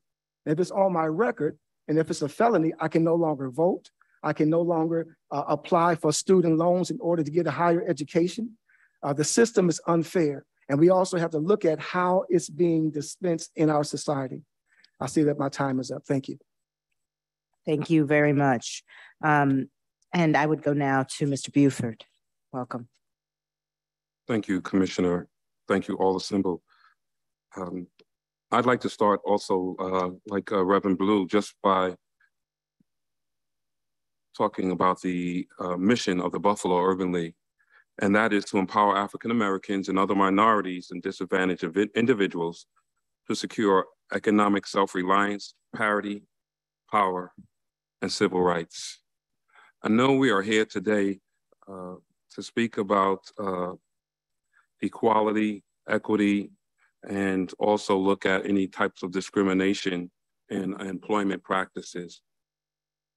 Uh, and I know that uh, this, uh, this particular organization was set apart to really deal with um, issues of uh, equality, uh, which is in uh, which is in the titling, equal, and um, hoping that um, in, through this discussion today, and what I'd like to set apart is that we move from an equality construct to an equity construct. Much of, uh, much of the advancement that has been made has given uh, Blacks and other individuals the opportunity uh, to uh, walk into the door for something, but it doesn't mean that that opportunity will be sustainable for them, that they will be welcomed or nurtured in an environment. So we're hoping that we could, this discussion today is going to lead us to more of discussion around uh, equity. Um, we look at, at the Buffalo Urban League and at the, um, the Urban League affiliates across the country, we look at uh, empowerment strategies uh, through many of the social determinants. And, um, education, which we've heard about already. We also look at criminal social justice and civil rights, uh, youth development and empowerment, housing, and uh, those those things we know are um, factors that Im that impact our community at a disparate rate um, compared to uh, to other demographics. So that that said, we're we're looking at um, all all of the pre-existing conditions which allow which don't allow for this particular community to flourish and to um, to reach its um, allow this community to flourish and to reach is have its greatest impact and become its best self. And today, I, you know, I understand that we're going to be focusing. I'd like to bring my focus really around the uh, construction industry um, as it as it um, impacts Buffalo and as it impacts um, other communities of color, uh, specifically because there's a sense of urgency around some really large opportunities that might be in front of this of the Buffalo community. And we want to make sure that this community, Black and Brown uh, members of this society are, are able to participate in these kind of once in a lifetime, very immediate um, um, opportunities that are, are being made along with all of the funding that's here to support infrastructure that's coming from the federal government. We want to make sure that this community can uh, avail all of those resources. Thank you. Thank you. And now we'll go to Ms. McEachon. Good afternoon, and thank you for having me here today. For the past 22 years, I have had the privilege of working within the nonprofit realm. I have seen movements occur within several need based industries, movements that increased equity, access to opportunity, and improved overall health and well being of both clients and employees alike. For the last 13 years of my career, I have worked within the justice industry, an industry different from all of the others. An industry devoid of accountability and best practices, plagued by politics, and fueled by systemic racism. This industry cripples communities. From government to community based organizations, jails to prisons, attorneys to judges, probation to parole, and across all jurisdiction levels, exploitation of people occurs. If we truly want to improve our justice system and create a space for all human beings to flourish and be contributing members of our society, then we need to rethink our approach on all levels. Difficult conversations must be had. And more importantly, true action and accountability must occur. We can no longer operate in this controlled manner, a manner that offers an illusion of change, yet protects the status quo. Punitive approaches to our nation's inequities are the favored method of operation. While overall prison numbers in New York State seem to be going down, there are still currently 54,500 individuals detained in 48 correctional facilities across the state. And a 95% rate of people will return under state supervision. In my experience, state parole is simply a paramilitary, power driven system that thrives on its high discretionary authority, both internally and externally. They alone hold the decision making power that determines where a person lives and works, whether they must attend programming, have a curfew, and whether they can drive, even if their conviction has absolutely nothing to do with driving. These represent just a few of a justice involved person's mandates, mandates that often serve as a true barrier to entry. One of these mandates is the expectation that an individual will find a job while under parole supervision. Ironically, when surveying persons with justice involvement, housing and employment are always the top two identified barriers to success. Historically, it has been difficult for those with convictions to obtain employment. However, one of the unexpected impacts of the COVID pandemic is the willingness of employers to overlook prior convictions and hire those with justice involvement. It has now become less difficult to obtain employment and more difficult to maintain employment. Since our criminal justice system lacks transparency and still operates as taboo, most employers do not understand the mandates those bound to parole face. Mandates that at a moment's notice may require a person to report to the parole office rather than show up at work mandates that allow a parole officer to show up for an unannounced visit at a job site likely requiring the employee to stop what they're doing and speak to their parole officer. Individuals may be mandated to programs after they've obtained employment, resulting in changed availability. It is important to note that often an individual on parole does not get to choose their program provider, location, or times of programming, and are often forced to decide between keeping their job or attending the mandatory program. The weight of this choice is freedom. Over the years, I have personally witnessed individuals violate their parole because they chose to keep their job to support themselves and their families. And despite their best efforts, their mandatory program providers refused to modify their group schedules to comply with work. I have seen individuals attempt to comply with both pleading with their employer, requesting leniency in their schedule, only to lose their job because they couldn't fulfill the availability originally agreed upon. While I believe parole mandates serve as the number one barrier to one's success, I must also highlight the overall barrier the general court system presents. The courts have the power and authority to set court dates at times that are most convenient for the courts, not the individuals bound to the court itself. Recently, I attended family court in support of a free, formerly incarcerated woman hoping to obtain custody of her three year old son. This custody was lost because of her prior convictions. She had already attended numerous required court appearances, all of which were in the middle of her workday. Each time she was forced to request an extended break or the day off completely. Since I started attending, never once was she asked if the date or time worked for her.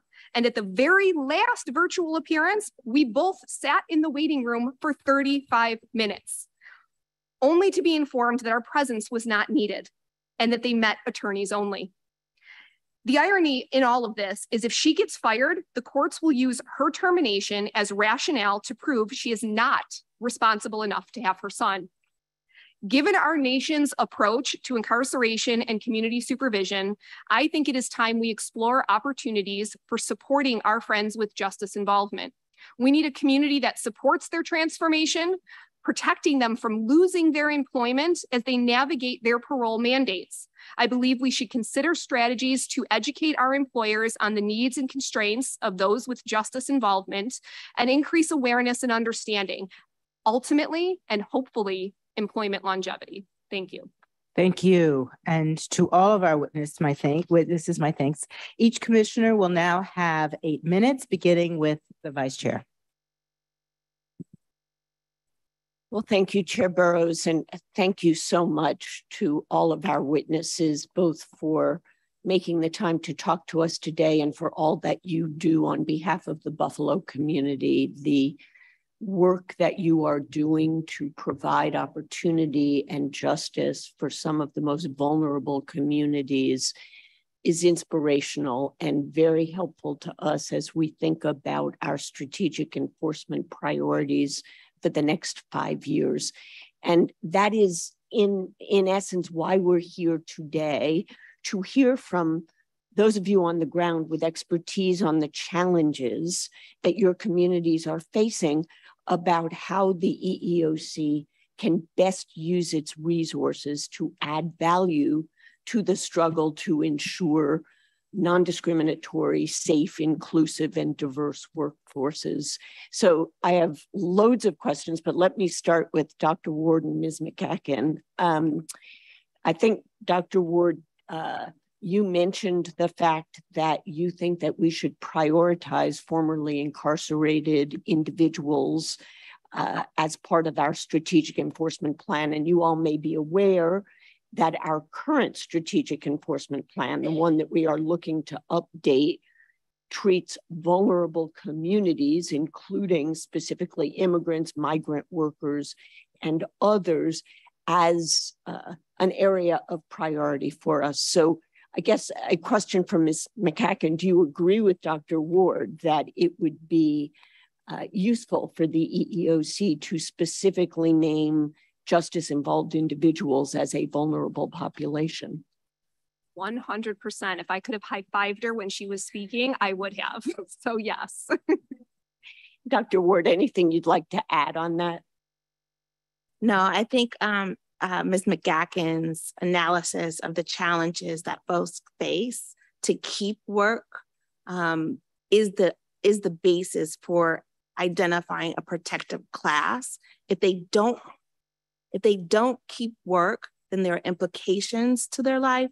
But if they can't find work, there are also additional implications. And all of this is mandated by the um, by the correction system. So I think that we have to think about them differently because they're bound to a system that's dictating the choices that they can make.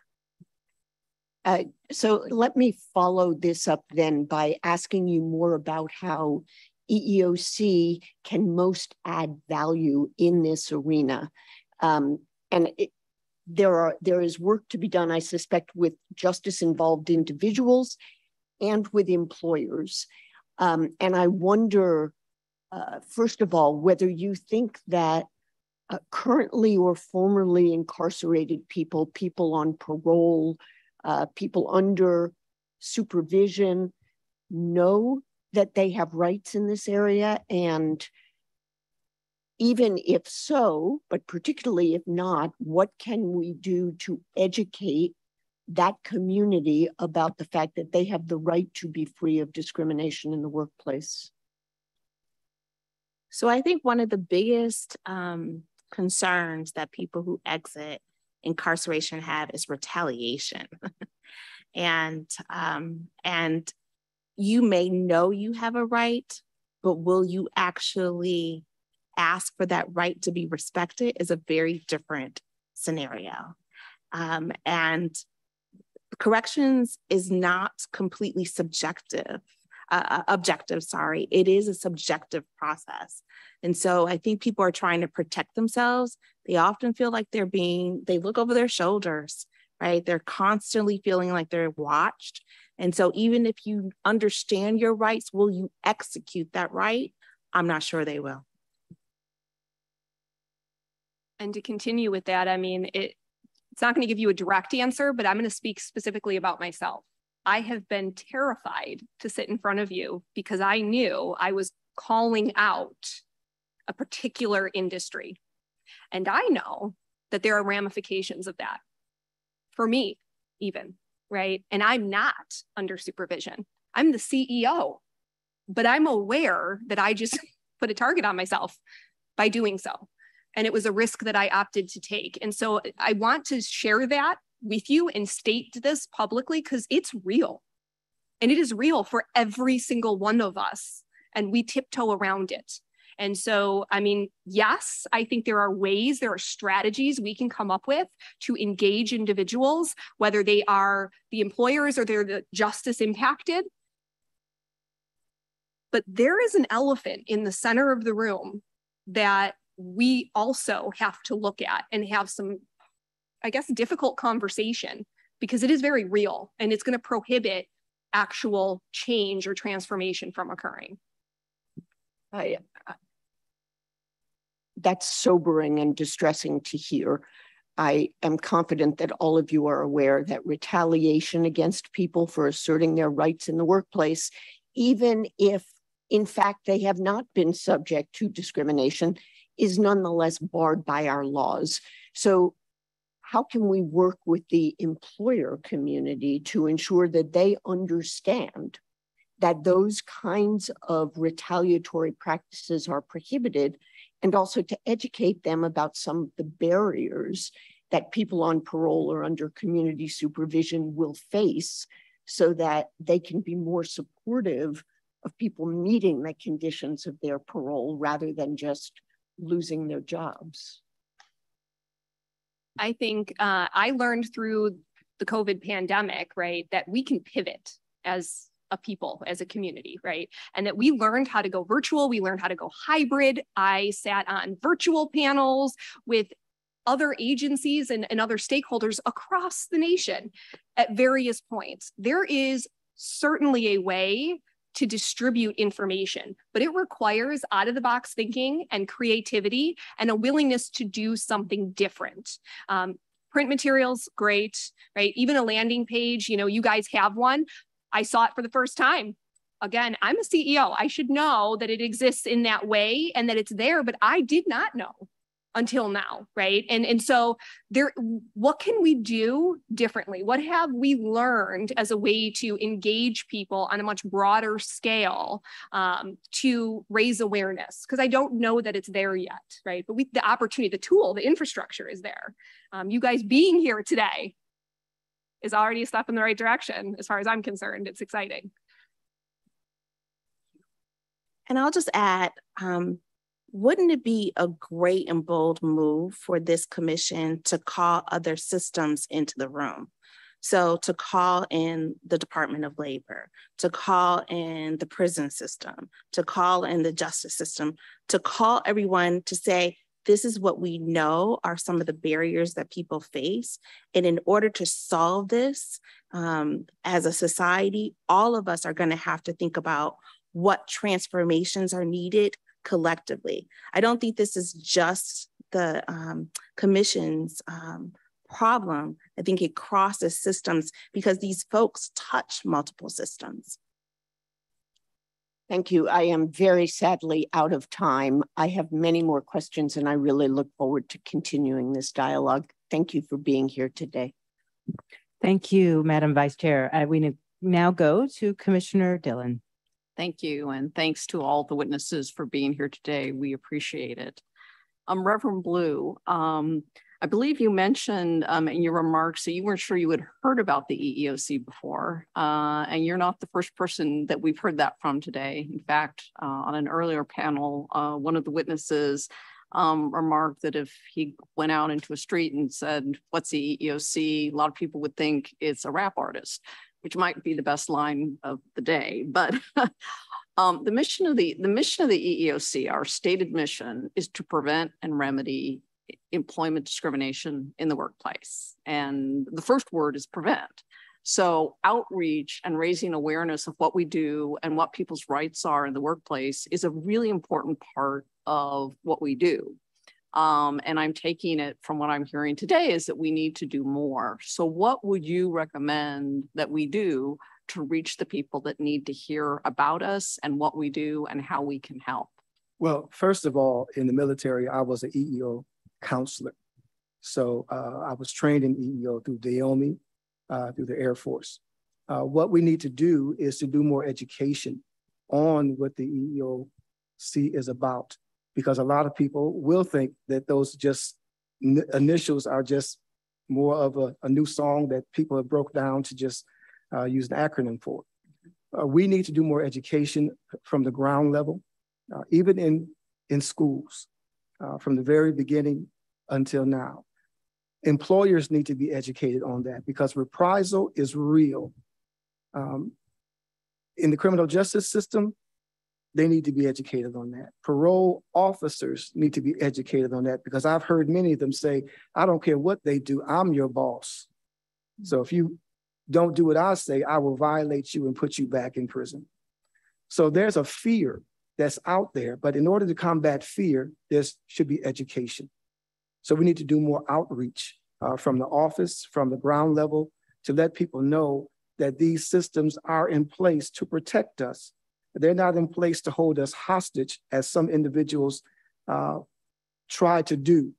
But if we educate ourselves, if you arm us with education, uh, we can make our way. But if we don't have education, then we'll still be behind the eight ball, have different barriers that are put before us. Because I can say, uh, if that person says to me something that was correct, incorrect, or foul, or something that puts my life in jeopardy, and I know that they know better, then I have an avenue of redress mm-hmm. to go to to ensure that my rights are not being violated. So education is the key. Thank you. Um, Mr. Bof Beauford, um, you had talked about uh, some infrastructure projects that are coming, federally funded infrastructure projects are coming. We've heard um, something of that in some of the earlier panels, and you described them as a once in a lifetime opportunity. Um, a lot of this is federal dollars, and we're a federal agency. So, what is it that we at the EEOC can do to ensure that as these projects are being implemented, that the opportunities that are being offered from an employment perspective are being um, are being allocated equally and are being allocated appropriately. So one, I'll say that um, it, I have worked for many years for very large multinational organizations that um, have a full uh, uh, understanding of the EEOC, large uh, human resource departments, large compliance departments, and they're very well aware of uh, the EOC's its actions and its powers. Um, but we're talking about construction projects and construction firms and all of the stakeholders in that industry, which are largely smaller businesses and they don't have the sophisticated compliance or some of them don't have the sophisticated compliance or um, HR infrastructure. So they're not aware, um, they're not as aware. And um, so, but they have a profound impact on the population that we're talking about that will be able to avail all of these opportunities. Um, there is the, um, our large stadium uh, for the for the Buffalo Bills that's going to be um, constructed very soon. That's a more of a state uh, project. There is a um, recovering, if you will, of the um, 33 or the Kensington uh, Parkway that um, had a devastating impact on the um, east uh, east side of Buffalo or East Buffalo neighborhood. Um, those projects are eminent. Um, that will be more uh, federal dollars going there. Those projects are eminent, but what has happened is we don't have uh, a workforce that is a black and brown workforce that um, is uh, already skilled or trained to take advantage of this. And there's a long pipeline, there's a long process to have people available for that. The reasons that that population does not exist is largely due to um, longstanding discriminatory practices, um, conditions where individuals were either not allowed to come into this uh, industry or when uh, Title VII and other, um, and even the establishment of the ELC came, um, where they were now able to come into these agencies, they were not welcome um, and they could mm. not flourish in those agencies. And, you know, some of the some of the discrimination doesn't may not rise to the level where it seems egregious, but it's the microaggressions, it's all of these conditions that exist um, that will not allow those people to or this community to take the best advantage. So I would say that the um, EEOC should have a focus on small business, um, should focus on this industry, and should focus on it um, in all stages of employment, the pre-employment, the um, the pre-apprentice programs, the apprentice programs, the journeys, and just all of the requirements that are there um, so that we can evolve to a place where all of those stakeholders understand um, what their obligations are under the law and um, can move this whole industry forward and be and it be more inclusive. And interesting that you mentioned apprenticeships because we've heard that as well this morning. So, you know, kind of putting the pieces together. So what specifically, and we heard that actually at a hearing earlier this year. So what do you think the EEOC should be doing around apprenticeship, apprenticeship programs to make them more inclusive um, and to make sure that people successfully complete them and go on to have a successful career? Right. So in this construction industry, there's a pre-apprentice program which is kind of a survey that just kind of program that lets you in, uh, teaches you some basic um, job skills, also gives you an exploratory look at the different uh, fields and construction fields you might be interested in. Um, along that time, uh, in, the, in, those programs, it lets, lets, you develop work habits, just um, a lot of soft skills um, along with um, exposing you to this. Um, and then the, the, apprenticeship programs, which when you actually decide that you want to look in a specific discipline or you want that specific skill. And all of those, in those programs that they have varying terms of uh, how long you need to be in the program. They have varying requirements on how much education uh, you need to uh, be in the program, or they might have different skill set, different require math math um, requirements for each of those programs. So I think, uh, you know, those are challenging, but you have, to, those things are pretty set in stone, but there's some subtle things like where those, where are these programs located, right? Because there are things in these programs that say you have to, you have to be there on time. You have to, um, you know, attendance is so important you know, to show that you're really interested in the job and you're going to show up for the job site because those have those things have economic impact. But those um, programs not being located um, in areas where this population lives is uh, important. And then, you know, transportation becomes an issue. Um, all these, all of these other disciplines, all of these ways that show up. And then you don't have the, uh, the network because of the long-term discrimination. You don't have the network. Your cousin, your uncle, they're not waking you up and saying, hey, it's time to go. You got to get there on time because there's just not enough critical mass in in uh, that in that um, industry, and you know, kind of defaults back to. I know at one point in this industry they referred to uh, that as the FBI, which is friends, brothers, and in-laws, right? All the people who um, were uh, formed this um, informal network. So without those things, um, these individuals still, or this community still is at a disadvantage. So we're looking, you know, we should look at just, you know, all the subtle aspects um, and maybe enforce some of the things that we know. Um, although there's an equal opportunity for you to participate in these programs, it's not equitable in terms of the pre-existing conditions that, again, put you at a disadvantage. Well, thank you very much. That was very helpful. Thank you, Commissioner Dillon. We turn now to Commissioner Sonderling. Thank you. And this is for uh, Dr. Ward and Ms. McEachon. You know, you talked about the um, stigmatic practices and just general issues. I know a lot of that was related to the criminal justice system. We talk about uh, gaps in resumes and how um, detrimental that could be to applying for a job for a whole host of reasons. So I want to know more about these other areas that you think are, are becoming stigmatizing. But as far as uh, resume gaps, which I know you're both familiar with with the work you're doing, that has long plagued not only people involved in the criminal justice system, but mothers who you know want to take or fathers taking a break from their career to raise their kids, or uh, workers over 40 uh, who want to come back in the workforce and have these large gaps. So um, I would love to just say, what is the solution? What is the answer to this? Because I, I, don't think anyone has figured it out. I think with the pandemic and people walking away from jobs, whether um, they physically couldn't go to the workforces and weren't able to work, or had now suddenly had new caregiving responsibility for parents or children or or whatever the reasons were, we're going to see now the people re-entering the workforce have these significant resume gaps.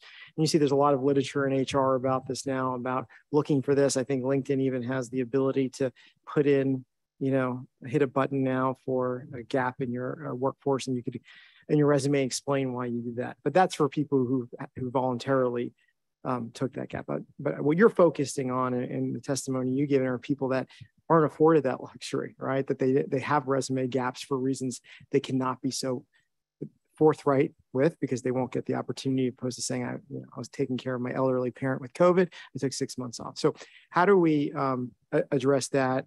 What's the answer? I know it's a tough one. It is a tough one, and I would love to say I have a solution, but I don't. Um, what I can tell you is that um, for many years when I worked for the Center for Employment Opportunities and I was working with individuals with said gaps, right, we would spend time coaching and talking about how to, we called it answering the conviction question, because that's kind of what you're doing, right? When you explain your gap, your gap is due to incarceration. How do you say that delicately? There really is no great way but we use the experience one had and the skills they gained while they were incarcerated because you do learn things.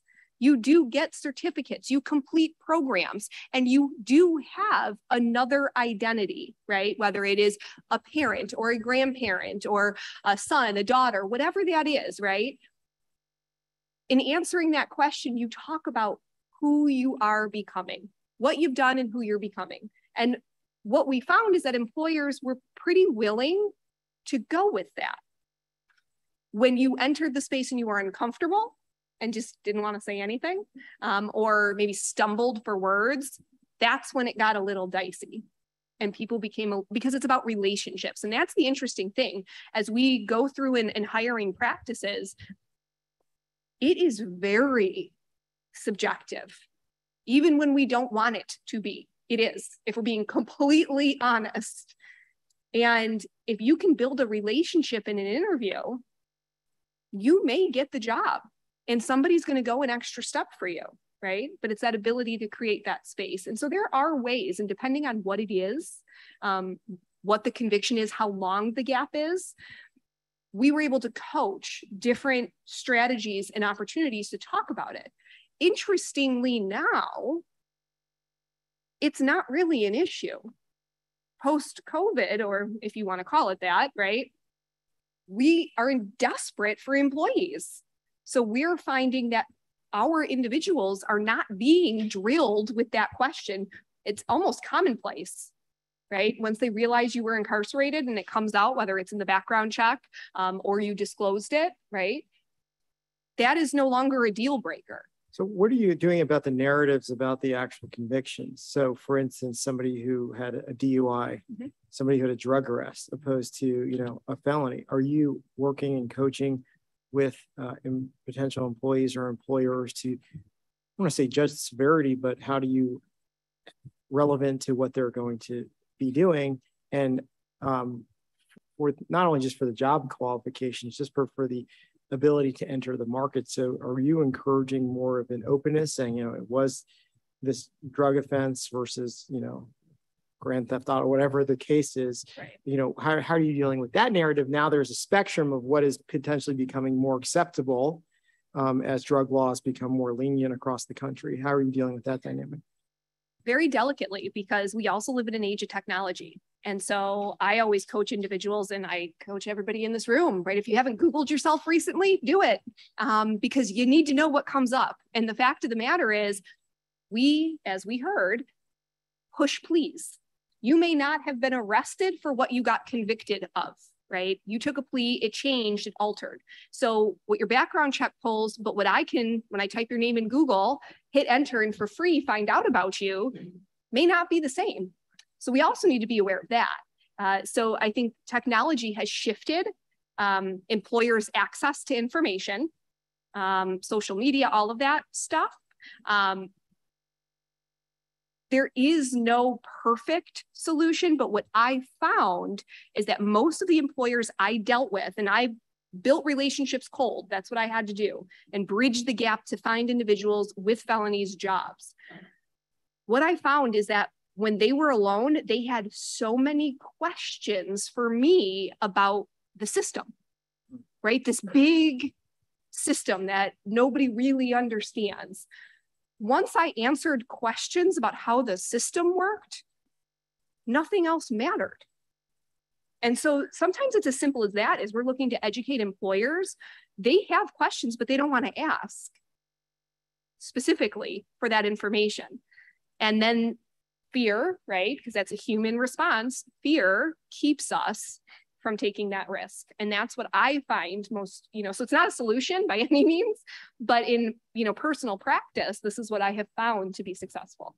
And Dr. Ward, I'll give you the remaining minute on this. I just want to uh, uh, kind of emphasize though that we're talking about different tiers of employment, right? Like just remember all of us when we applied to schools, we had our tier one schools, tier two, and tier three schools. And so the jobs that Ms. McEachon is talking about are those tier three jobs that people can easily access, which does not change the project uh, the the trajectory of your life. So the types of jobs that will change a person's um, position or condition that might increase recidivism is a tier two, a tier one job, right? And so those employment gaps are going to matter more the higher the professional scope of the job is, right? That's going to matter more. Resume gaps, uh, application apps, whatever you know is involved in those professional positions are going to have dire consequences for people who are involved in the criminal justice system. Thank you both. Thank you all. Thank you. And we turn now to Commissioner Lucas. Thank you. Um, and uh, just thank you again to this whole panel for your uh, helpful and uh, interesting insights and for coming out here and, and for willing to speak up. Um, I, I, hope that uh, it was a valuable experience for you all. It certainly was for us. Um, Mr. Beauford, I wanted to follow up a little bit more to understand about these pre-apprenticeship programs. What entities are um, running these pre-apprenticeship programs? Are they the unions or something else, a company? Sure, unions do run them. Uh, unions do run them as, as well as there are other community-based organizations that run them. So there are various entities that that run them. Some uh, programs are uh, non-union affiliated as well. So um, there's there's um, various opportunities to participate in these programs. Okay, and are they paid a pre-apprenticeship program? Most of the programs are, are paid. Um, and I would say some of them lasted somewhere in the neighborhood of uh, about eight weeks. Um, but then, you know, we talk about paid programs and the, the timing. Um, I don't know that they pay a wage that's a, you know, that's a you can sustain a family on. Sure. So based on, you know, if you had programs, we look at program design. Can they be in the evening after you finish your full day's work and where you can go to this and then um, start to integrate yourself or skill up to get into this new trade. So we have to look at all of these design elements of these programs, I think, which are the, the things that are the, the trickiest, um, the trickiest piece. And apprenticeship programs, are those exclusively through unions or are there is a similar non-union component to? They are, they are both. They're both, okay. They're both. But, um, you know, the difference between non-union and union, uh, when you start to get into, uh, when you're actually working and then the wages that are being paid, um, at, at different jobs. So, um, there's some disparities there as, there as well. Sure. Um, do you think that there are racial barriers to entry is a bigger problem versus racial harassment or racial barriers to retaining staying through those programs or is it both? I think it's all of it. I think it's through the whole the full continuum from you know just the, the initial access to to these programs to the pre-apprentice programs you know locations the the accessibility to them and then beyond that the criteria that um, you have to meet once you're in these apprentice programs. You're already at a disadvantage if you had an education system that where you graduated, but you didn't have the requisite skills, uh, math skills, or you're not at a, a level of that um, that you can meet. And some of them, you know, some people get through the initial pieces and they get to this pre-apprentice and I mean to the apprentice programs, and they're not they, their math skills are not at a, a you know, at their, their grade school levels. And they, so that, takes them out of the competition. So we know that, you know, all of these things don't make it a level playing field. It does in terms of you being able to enter, but those other conditions that pre-existed, um, especially for certain demographics, are which can come back to haunt you. And if you can get past that, and you do get into this work site, then you're such a minority there that um, you know there is um, discrimination there. It's not a, a, very welcoming environment and can be a very hostile environment. So that's um, you know that continues to perpetuate. And so in many cases, you you we get back to this place where these, like I said, these projects are coming up. You don't have the workforce, but you don't have the workforce because you didn't get people in the pipeline. You don't have the pipeline. I mean, you don't, and those are, you know, some of that lack of access is based on conditions of that um, pre-existing conditions. So you have this this cycle where you know even you know people who say they have the best intent, they say, well, it's you know we would love to hire this group or this this demographic, but they don't have the skill sets or just not enough of them. And so I know we need to you know try to get to break that cycle as well, not only for um, workforce for entry, but this construction um, industry is one of the places where you can create generational wealth because you can move from being uh, learning an individual skill to moving into being a small business or an entrepreneur yourself. So, um, you know, there's so many um, knock-on implications from not getting this right.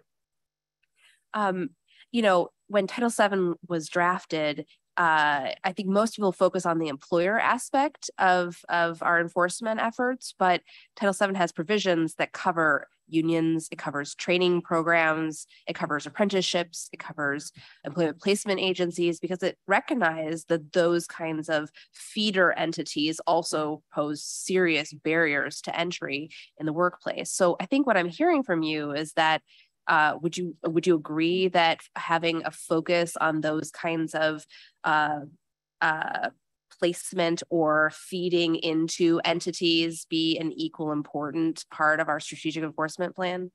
I, I think they're equal or maybe greater. You know that because there is a process. There is um, a long-standing process. It's it's worked. You know, this is how those those skills are developed. Um, and I'll, I'll just say one more thing. Once you do get on a job, you also have to have the opportunity to work to actually get hands-on experience in order to advance within within those programs. So I think it has to go along the whole continuum. That has to this has to work, and it's not just on the, the unions or the construction trades, but all of the stakeholders here. The you know we're talking about the educational system, the government that's supporting programs, uh, the private industries, the builders, all of these, um, and even the community-based organizations have to be there. Um, and we're looking, you know, there are collaborative opportunities. We, we have enough history, we have enough data. I don't know how public that data is, but we have enough data about the outcomes. We have enough data about the challenges that we, we should be able to use to um, uh, find solutions for some of these problems. And then certainly we wish that there could be some collaboration where all of these entities can come together and um, you know they can um, they can make change through the the power of their example. Um, and if not, then we need the ELC to come in with some teeth and lead by the example of their power. Um, Reverend Blue, I, I, wanted to hear, you know, as a pastor, um, what role has the intersection of faith and race uh, played in um, helping people be aware of, of, of job opportunities, staying, uh, you know, re retained in, in, an, uh, in a job, having resiliency in the wake of, race discrimination? Um, I wondered if you had a perspective on that. Uh, one of the things is that uh, as a pastor, uh, we see everything. And we also face some of the woes of governmental decisions uh, when individuals are uh, have been reprimanded or facing a job loss. We see that, and the problem of counseling those individuals and to giving them an opportunity to have some more hope and to go forward uh, is great. So we do a lot of counseling in in that area uh, because a lot of things happen that sometimes employers just don't understand. Uh, as it was mentioned in by uh, my guest panelists here, uh, the workplace is one of the most craziest places in the world because sometimes employers don't understand and we find that there's a cultural divide uh, in that place as well. And it's very important that we have that talk with employers on culture, have that talk with teachers on culture, because if I say bad, they may think, okay, that's something he doesn't like, but bad can mean good depending on where you're from and how you address that particular question. But as far as the faith community, uh, we do a lot of counseling to help individuals and their families uh, cope with a lot of the woes that are being faced and thrown at them uh, in society. So it, it's very important that the spiritual connection uh, with in, with our community uh, is there as well. Because uh, we have a pantry at our church, and we not only feed those in our community, but those outside of our community. And at any point in time, someone can come uh, seeking some help that they can't get from their medical doctor, they can't get uh, even from their relatives, but they can call on clergy, and we can be able to help them go through their issues. Thank you so much. Thank you. Um, I appreciate the focus this morning or this afternoon at this point. Uh, um, we've been here for a while now, uh, really on construction, and it's something that the commission has also been focusing on as well. Um, and that unprecedented public investments, not just here in Buffalo, but across the country. Um, and that is one of the areas where we have found both um, you know obviously really good employers but some of and i have to say this you know some of the most extreme instances of harassment that come across our desks and we see unfortunately a lot um, and so as i listen today one of the things you know I, I would agree mr Beauford that this is an unprecedented opportunity not just for buffalo we see really huge investments, public money, taxpayer dollars in building infrastructure, which is so important. Um, how do we make sure that on the front end, so we prevent and remedy uh, discrimination, that is our mission in employment, um, how can we help make sure that people understand their rights on the front end. We're happy to be helpful on the back end if we need to, to help get a settlement, to investigate if we have to, we'll litigate. But it is much better for everybody, right? If it doesn't happen in the first place. And so we've heard a lot about outreach. I would love to ask each of you, I'll start with Mr. Beauford in this con construction context, but each of you, what's the creative outreach suggestion that you would give to us? What does it look like to for us to carry this message in a way that will be heard? Because I agree that it needs to be retailed, right, with the populations that you um, that you uh, serve. So I will start with Mr. Beauford and we'll just go across if that, if you will. Right. And I had mentioned before that when we're talking about this uh, industry specifically, we're talking about smaller companies who uh, don't have as large uh, compliance or human resource uh, arms to them. Um, so a you know, many other industries, if an employee felt like they faced this in this type of discrimination, they would know who to go to. They they might feel that there is um, some level of protection when they go there. Um, but in these small companies, you know, when you have to go and bring bring this up to someone within the organization, um, there's um, there's not um, a lot of separate from the owners and someone who you might bring that claim against or have that discussion with. So I think it's very important to have organizations to um, are interested in this type of work, community-based organizations to get the word out. I mean, again, there's enough history here. Um, there's enough data here that's showing what the outcomes are, even since the implementation of you know, this agency, even since the implementation of Title VII and other things that were to advance um, all these opportunities. I think there's still a lot of work to be done in getting uh, to individuals, um, even in those early stages. Uh, I believe most people think you have to wait until you on a job to face discrimination. They might not understand their rights, even in these type of pre-apprentice and apprentice programs. Most of them feel like they get washed out in those things and you know there's no more opportunity for them but we need to know we need them to know that through all the stages of of the employment process that they are they still fall under these of the, the protection of this agency and i believe that many of the community-based organizations some of which are represented here today can play an important role in uh, getting that information out and amplifying the voice of those individuals who might not know their rights or even if they know them, are not as comfortable with exercising them. Okay, Reverend Blue, what should we what should we do? What should we do? Uh, we should have open forums like this, bringing this organization to the community, um, having workshops, bringing the organization to the community, letting people know their rights. Uh, some people don't know. And giving them that information, I think will also help them be a better employee as well uh, better able to stand up for themselves, uh, better able to even speak more confidently. Uh, because right now there's a lot of fear, uh, fear in employment, fear I'm losing my job, fear uh, of my family not being taken care of. Uh, even in hospitals, because you work with the hospitals as well, if there's any type of discrimination there. that will also put everybody on notice that I'm empowered. And that's what our people need to be empowered to know their rights and empowered to be able to speak confidently without fear. Uh, in the Tops shooting, people went to the store without the absence of fear. Not going there knowing that they would not be able to come back home. Uh, and that's one of the things that's disrupted uh, our city in that perspective is that now, uh, as African American, we have to look at our surroundings and try to define an exit plan if something were to go wrong the absence of fear was what's been dis disrupted in our community in the city of Buffalo. And now we have to build that back up. So arm me with the tools that I need in order for me to be successful, that I can pass along to my children and my children's children to be successful.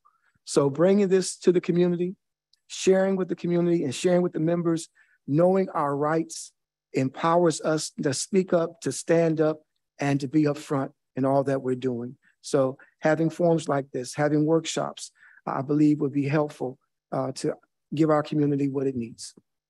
Thank you, Dr. Ward.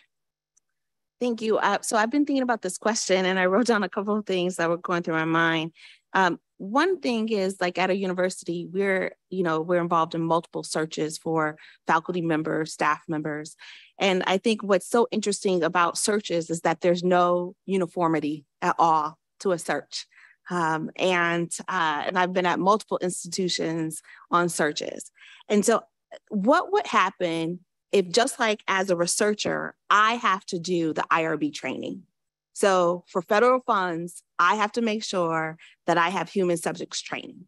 What would it look like if, as an employer, I had to be trained and I had to then onboard everybody with that training? Because that's exactly how that's what happens in the research world everybody gets the same training. And if you're on a research project, you all get it. So that's the first thing. The second thing is we all get pay stubs.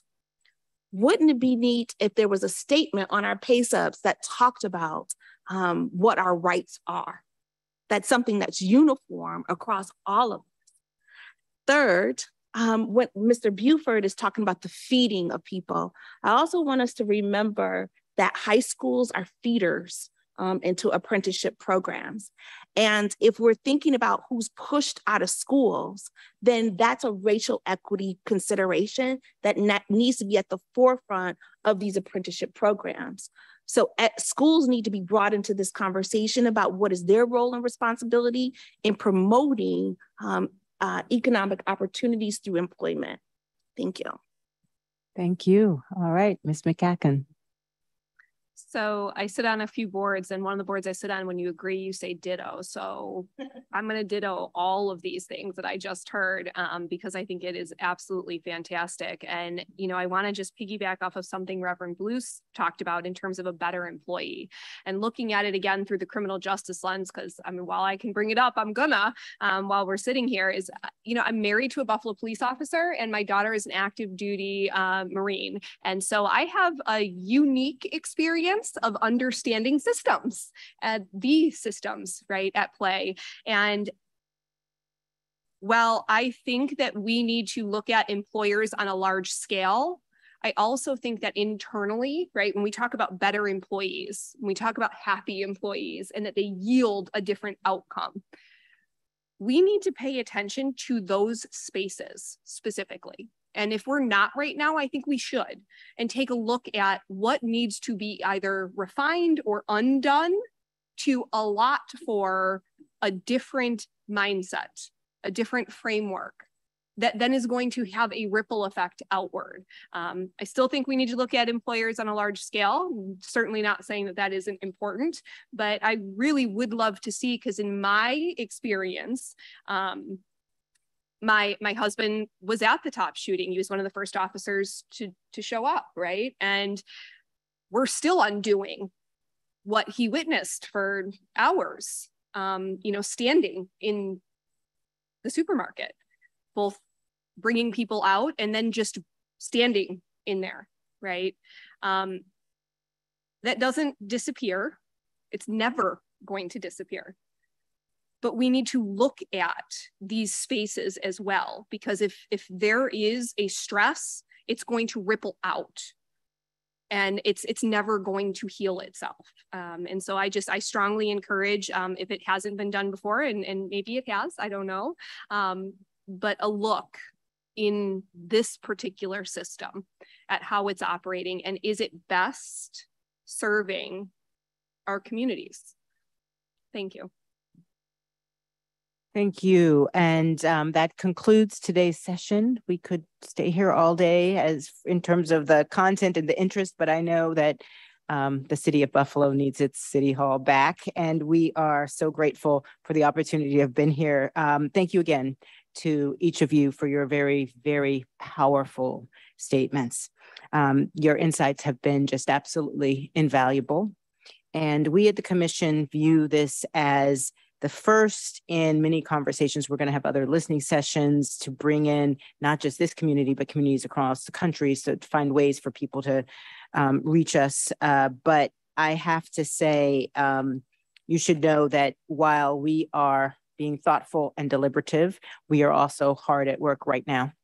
And so we're going to take this back. We're going to work on a bipartisan basis to figure out what that blueprint should be going forward. But we're also going to share right now with everybody in the commission what we have learned so that they will, as they do their work day to day, be able to fold this in in real time. In closing, I'd like to recognize the many, many EEOC staff who really worked so tirelessly um, on this effort. And uh, I'd especially like to thank our colleagues from the New York District Office and from Buffalo and our director here in the Buffalo office. Just tremendously thankful. Um, all of our uh, colleagues here, both um, investigators, litigation litigators, we are really, really, really grateful for your work. Um, it has been amazing and it has taken, you know, a lot of hours um, to prepare for this. But it was so important to connect with this community. Um, many thanks to the Office of Information Technology colleagues who are here, believe it or not, and the Office of Communications and Legislative Affairs. We could not have done it without all of you um, traveling to Buffalo uh, and helping us coordinate logistical aspects of the listening session. We have both the director of our New York district office um, and the, the acting director and also the, um, you know, the regional attorney for the entire New York district office. Um, I'd like to acknowledge, of course, Vice Chair Samuels and each of my colleagues on the commission uh, for their work, as well as, bless you, as well as the support of their staffs and their tremendous contributions. Um, and of course, to thank my own staff um, who have done a truly phenomenal amount of work. So grateful to you. Some of them are here, some of them are not here, and particularly wanted to uh, thank my chief of staff and native of Buffalo, Elizabeth Fox Solomon, for everything she's done. Um, I owe and we owe all of us a special debt of gratitude to the Buffalo Common Council President Darius Pridgen and his staff uh, for allowing us to be here today in the Common Council chambers. That is phenomenal. Um, and to use uh, this uh, building for our listening session. Thank you to the Executive Secretariat and the Office of Legal Counsel also for their support. Um, and of course, to Jim Montour, who I think I thanked at the beginning, but just have to say he's been tremendously useful. I don't know where he is, but very, very, very grateful because, um, you know, we have really felt the the hospitality of the city of good neighbors with all of you.